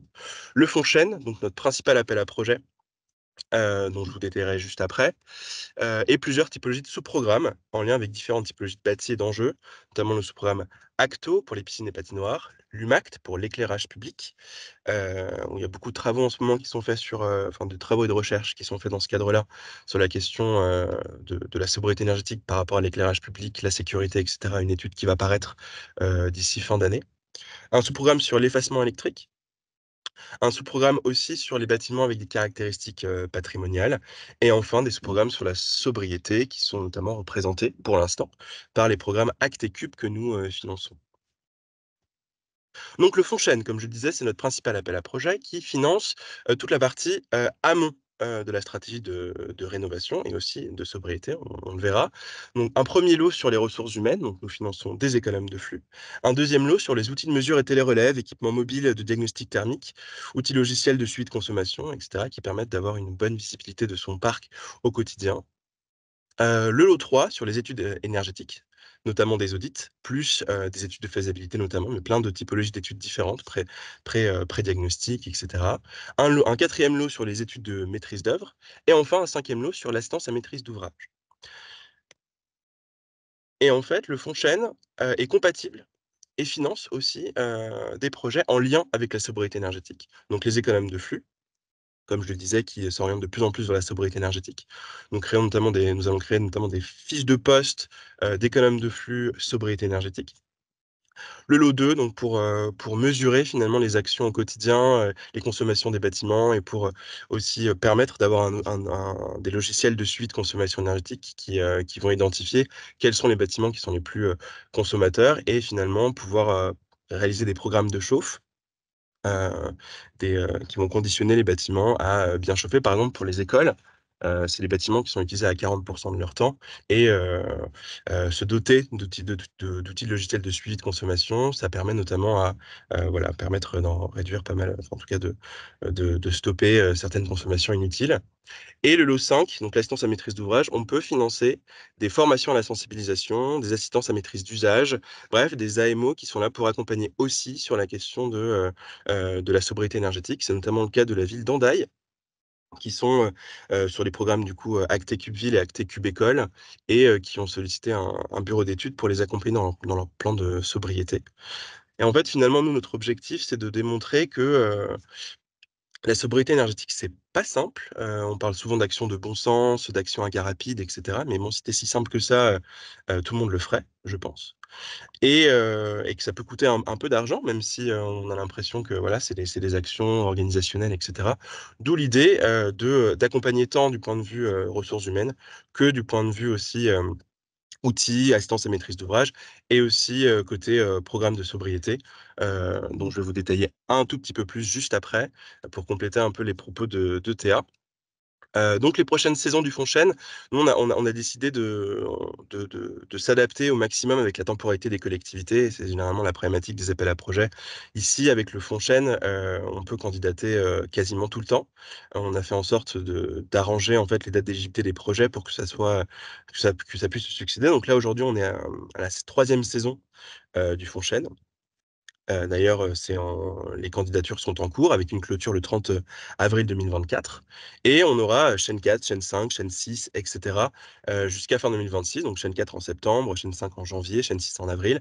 Bref, vous pourrez réaliser vos demandes, si vous le souhaitez, sur notre site internet, via notre portail. bon, après, il faut qu'elle corresponde bien sûr à un cahier des charges, qui est disponible aussi sur notre site internet. Mais voilà, pour candidater, c'est simple, euh, allez sur le site internet. donc voilà, aussi donc les précisions sur la question des sous-programmes de sobriété énergétique. Donc nous, aujourd'hui, pour l'instant, nous avons 10 millions d'euros euh, de fléchés sur la sobriété énergétique et notamment sur le financement des programmes euh, Acte et Cube. Donc initialement, en 2021, nous avons, nous avons créé conjointement avec le CEREMA et l'IFPEB le programme Cube École, qui là a fini sa première saison et qui a enregistré de très très bons résultats avec en, moyenne 20% d'économie d'énergie sur les bâtiments qui ont suivi, sur les établissements qui ont suivi le concours. C'est inspiré de, de Cubes, donc un programme qui existe depuis 2019 qui a accompagné plus de 1000 établissements, notamment collèges et lycées, dont nous avons repris le financement en 2023. Et enfin Cubeville, dont je ne reviendrai pas, mais euh, parce que Terre en a déjà parlé. Mais finalement, euh, aujourd'hui, on propose euh, du coup 70 à 80 de financement de ces programmes-là qui, qui finalement touchent au patrimoine hors scolaire et au patrimoine scolaire des collectivités dans une optique de se dire que installer un plan de sobriété, c'est pas simple et potentiellement les collectivités ont besoin d'aide externe et donc d'un financement pour cette aide afin de, mener ces, ces, projets à bien. Et ce qui est assez novateur et intéressant, c'est que Les économies d'énergie qui sont engendrées par la sobriété énergétique, donc sur une année, sont mesurées grâce notamment à l'IFPEB, avec tout un calcul savant et des ingénieurs, du coup, côté IFPEB qui sont là pour, pour donner un classement et cetera et ça permet de mesurer, de donner des indications. Également, je parlais d'un réseau. Donc, nous avons un réseau d'économes de flux. Donc, maintenant, nous avons, plus de 500 économes de flux et également euh, énormément de lauréats type euh, euh, syndicats d'énergie, EPCI et aussi des villes qui sont des relais aussi sur les territoires, notamment syndicats et EPCI, pour conseiller les collectivités. Et pour les économes de flux en particulier, nous animons des formations en lien avec l'efficacité énergétique globalement, mais de plus en plus en lien avec la sobriété énergétique. En tout cas, c'est une volonté de notre, euh, de notre côté de faire monter en compétence euh, les ingénieurs sur la sobriété énergétique. Donc ça va se faire euh, dans le cadre d'Acte Plus, donc jusqu'à fin 2026. également, nous avons des groupes de travail sur les thématiques. Donc nous avons déjà fait deux groupes de travail sur des, des, thématiques de sobriété énergétique qui continuent. Hein, et à chaque groupe de travail, on crée des ressources que je vous présenter plus tard. Des rencontres territoriales aussi qui permettent de de mettre en relation les différents acteurs et de faire monter en compétence tout le réseau avec notamment voilà, différentes présentations, différents financeurs qui, viennent, interagir pour, conseiller au mieux les collectivités. Et nous avons également réalisé une cartographie des facilitateurs actés qui est accessible sur notre, sur notre site. Donc, un centre de ressources, donc nous, le centre de ressources, il a donc la méthodologie suivante, c'est mettre à profit l'expertise et les retours d'expérience de nos différents lauréats sur leurs différents projets pour créer des ressources qui seraient accessibles donc à tous, qui ont pour objectif de conseiller les collectivités dans, leur, dans, leur, dans leurs différents projets au quotidien. Nous avons différentes typologies de ressources, des guides, des fiches techniques, des modèles de cahier des charges, des conventions, des outils numériques comme la cartographie que je vous ai présentée, ou les facilitateurs, enfin, ou les simulateurs. Et donc là, dans le cadre de la sobriété énergétique, nous avons notamment créé quelques nudges qui sont en libre accès, mais de manière plus approfondie, différentes ressources, notamment, voilà, nous sommes en cours de création hein, des différentes ressources, notamment des arbres de décision pour la mise en place d'actions de, sobriété en lien avec le confort hivernal. Donc là, pour cette ressource qui est accessible sur notre site, nous avons six axes de décision la régulation et programmation du chauffage, bien choisir la consigne de température, optimiser les points de puisage d'eau chaude et sanitaire, éclairage intérieur, éclairage extérieur et comment rationaliser les surfaces. L'idée, c'est que, cette ressource-là soit euh, utile pour les collectivités qui souhaitent se lancer dans, la démarche de sobriété, qui n'ont pas forcément euh, commencé ni de, regard. Et là, par rapport à, aux arbres de, à l'arbre de décision qu'on a proposé, voilà, ça peut un peu euh, les orienter. Et bien sûr, après, ça nous ça renvoie aussi à différents acteurs qui sont là aussi pour conseiller, notamment. Et voilà, plusieurs ressources sont en cours de, production. Donc un arbre de décision sur le confort d'été. Une enquête qui est réalisée par Enertech et GP Conseil pour l'analyse de plans de sobriété des collectivités à l'échelle nationale. aussi un outil à, destination des agents des collectivités pour la formation des usagers du bâtiment. Donc là, il y a à peu près, on est en train de faire une 70 à 80 slides qui pourront être réutilisés par les services. Et pour présenter, ou présenter ou accompagner ou enrichir les, les efforts voilà, au quotidien ou les présentations auprès des, auprès des usagers. On a également réalisé, donc là je ne voulais pas présenter aujourd'hui, mais une étude sur la sobriété donc, sur, sur l'hiver 2022-2023 qui a, qui, a, qui a notamment mis en lumière différentes actions qui ont été réalisées par les collectivités, mais ça c'est bon à titre d'indication, de conseil. Et je vous invite à vous tenir informé de nos différentes actualités sur, sur notre LinkedIn, notamment. C'est là où on publie, c'est là où on poste du coup toutes les nouvelles, les nouvelles ressources. Et également tous les webinaires qu'on peut mettre en place, parce qu'on a à peu près deux à trois webinaires par mois en moyenne sur différentes thématiques. Et on en aura de plus en plus en lien avec la sobriété énergétique, avec, avec des retours d'expérience de collectivités, qui sont notamment dans le programme Acte Cube. Donc, donc voilà, merci beaucoup pour votre attention. Est-ce que vous avez des questions? Merci beaucoup, Mathias. Alors, je ne sais pas si on m'entend pour le coup. Non, j'ai éteint ou pas? On vous entend. oui, pardon, parce que on a des, retours un peu compliqués.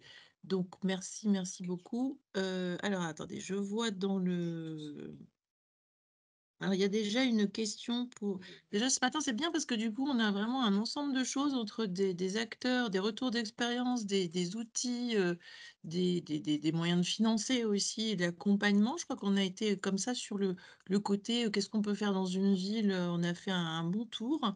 Il y a une question, Isabelle, sur quelles sont les Oui, mesures prises pour réduire l'emprise de l'automobile à Chaville.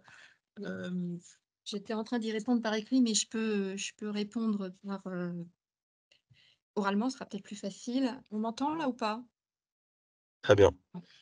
Heu, c'est une vaste question, la place de l'automobile. Franchement, heu, en tant hem, très motivée pour, pour réduire la place de de l'automobile, c'est vrai c'est vrai que c'est compliqué. Donc comment on fait? On essaye de surfer sur toutes les possibilités données sur l'aménagement de l'espace public, donc plus de place pour les mobilités actives. Le les piétons, les vélos, donc plus on si on reprend de la place pour les mobilités actives, ça en supprime un peu pour les mobilités, ther ther véhicules thermiques et autres. Évidemment, ça râle un peu, hein. Dans le PLUI, allons, heu, nous avons mis des choses assez ambitieuses, c'est-à-dire les les les immeubles collectifs à proximité des gares, heu, ont réduit, le nombre de places de parking obligatoires. Donc si on réduit le nombre de places de parking, quelque part, on espère que les gens qui habitent à proximité des gares, réduiront aussi le nombre de voitures par foyer.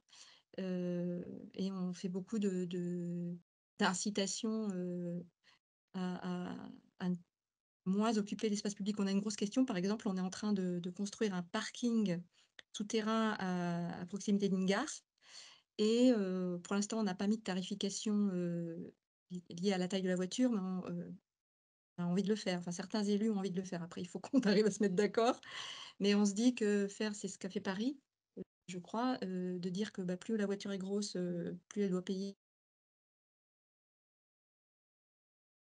Sujet hyper sensible parce que dès qu'on touche à la voiture, on voit bien que le président de la République l'a dit, la voiture est un sujet hyper sensible donc pas facile, pas facile. Je sais pas si j'ai répondu à la question.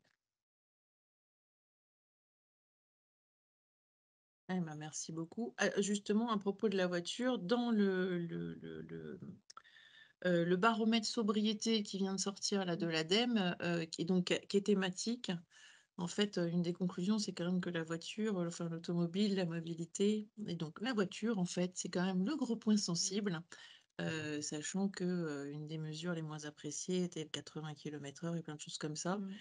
Et ce que je dis, en fait, d'aller voir, en fait, je crois qu'il y a à peu près, heu, 500 pages de de de de questions, mais ça permet de vraiment bien comprendre et de pouvoir aller travailler sur freins et leviers. Je vais revenir là-dessus parce que j'ai peut-être oublié de dire autre chose, c'est que, quand même, pour donner un une note d'espoir, moi je constate que sur ma ville, on a de plus en plus de de jeunes parents qui vont, qui amènent leurs enfants à l'école, soit à pied, soit en vélo. Pas encore suffisamment, mais de plus en plus. Et donc je crois beaucoup à l'effet de, d'entraînement, c'est-à-dire qu'il faut qu'on ait de plus en plus de gens qui le fassent, de telle sorte que, ça devienne, une espèce de norme et que d'autres se posent la question de le faire.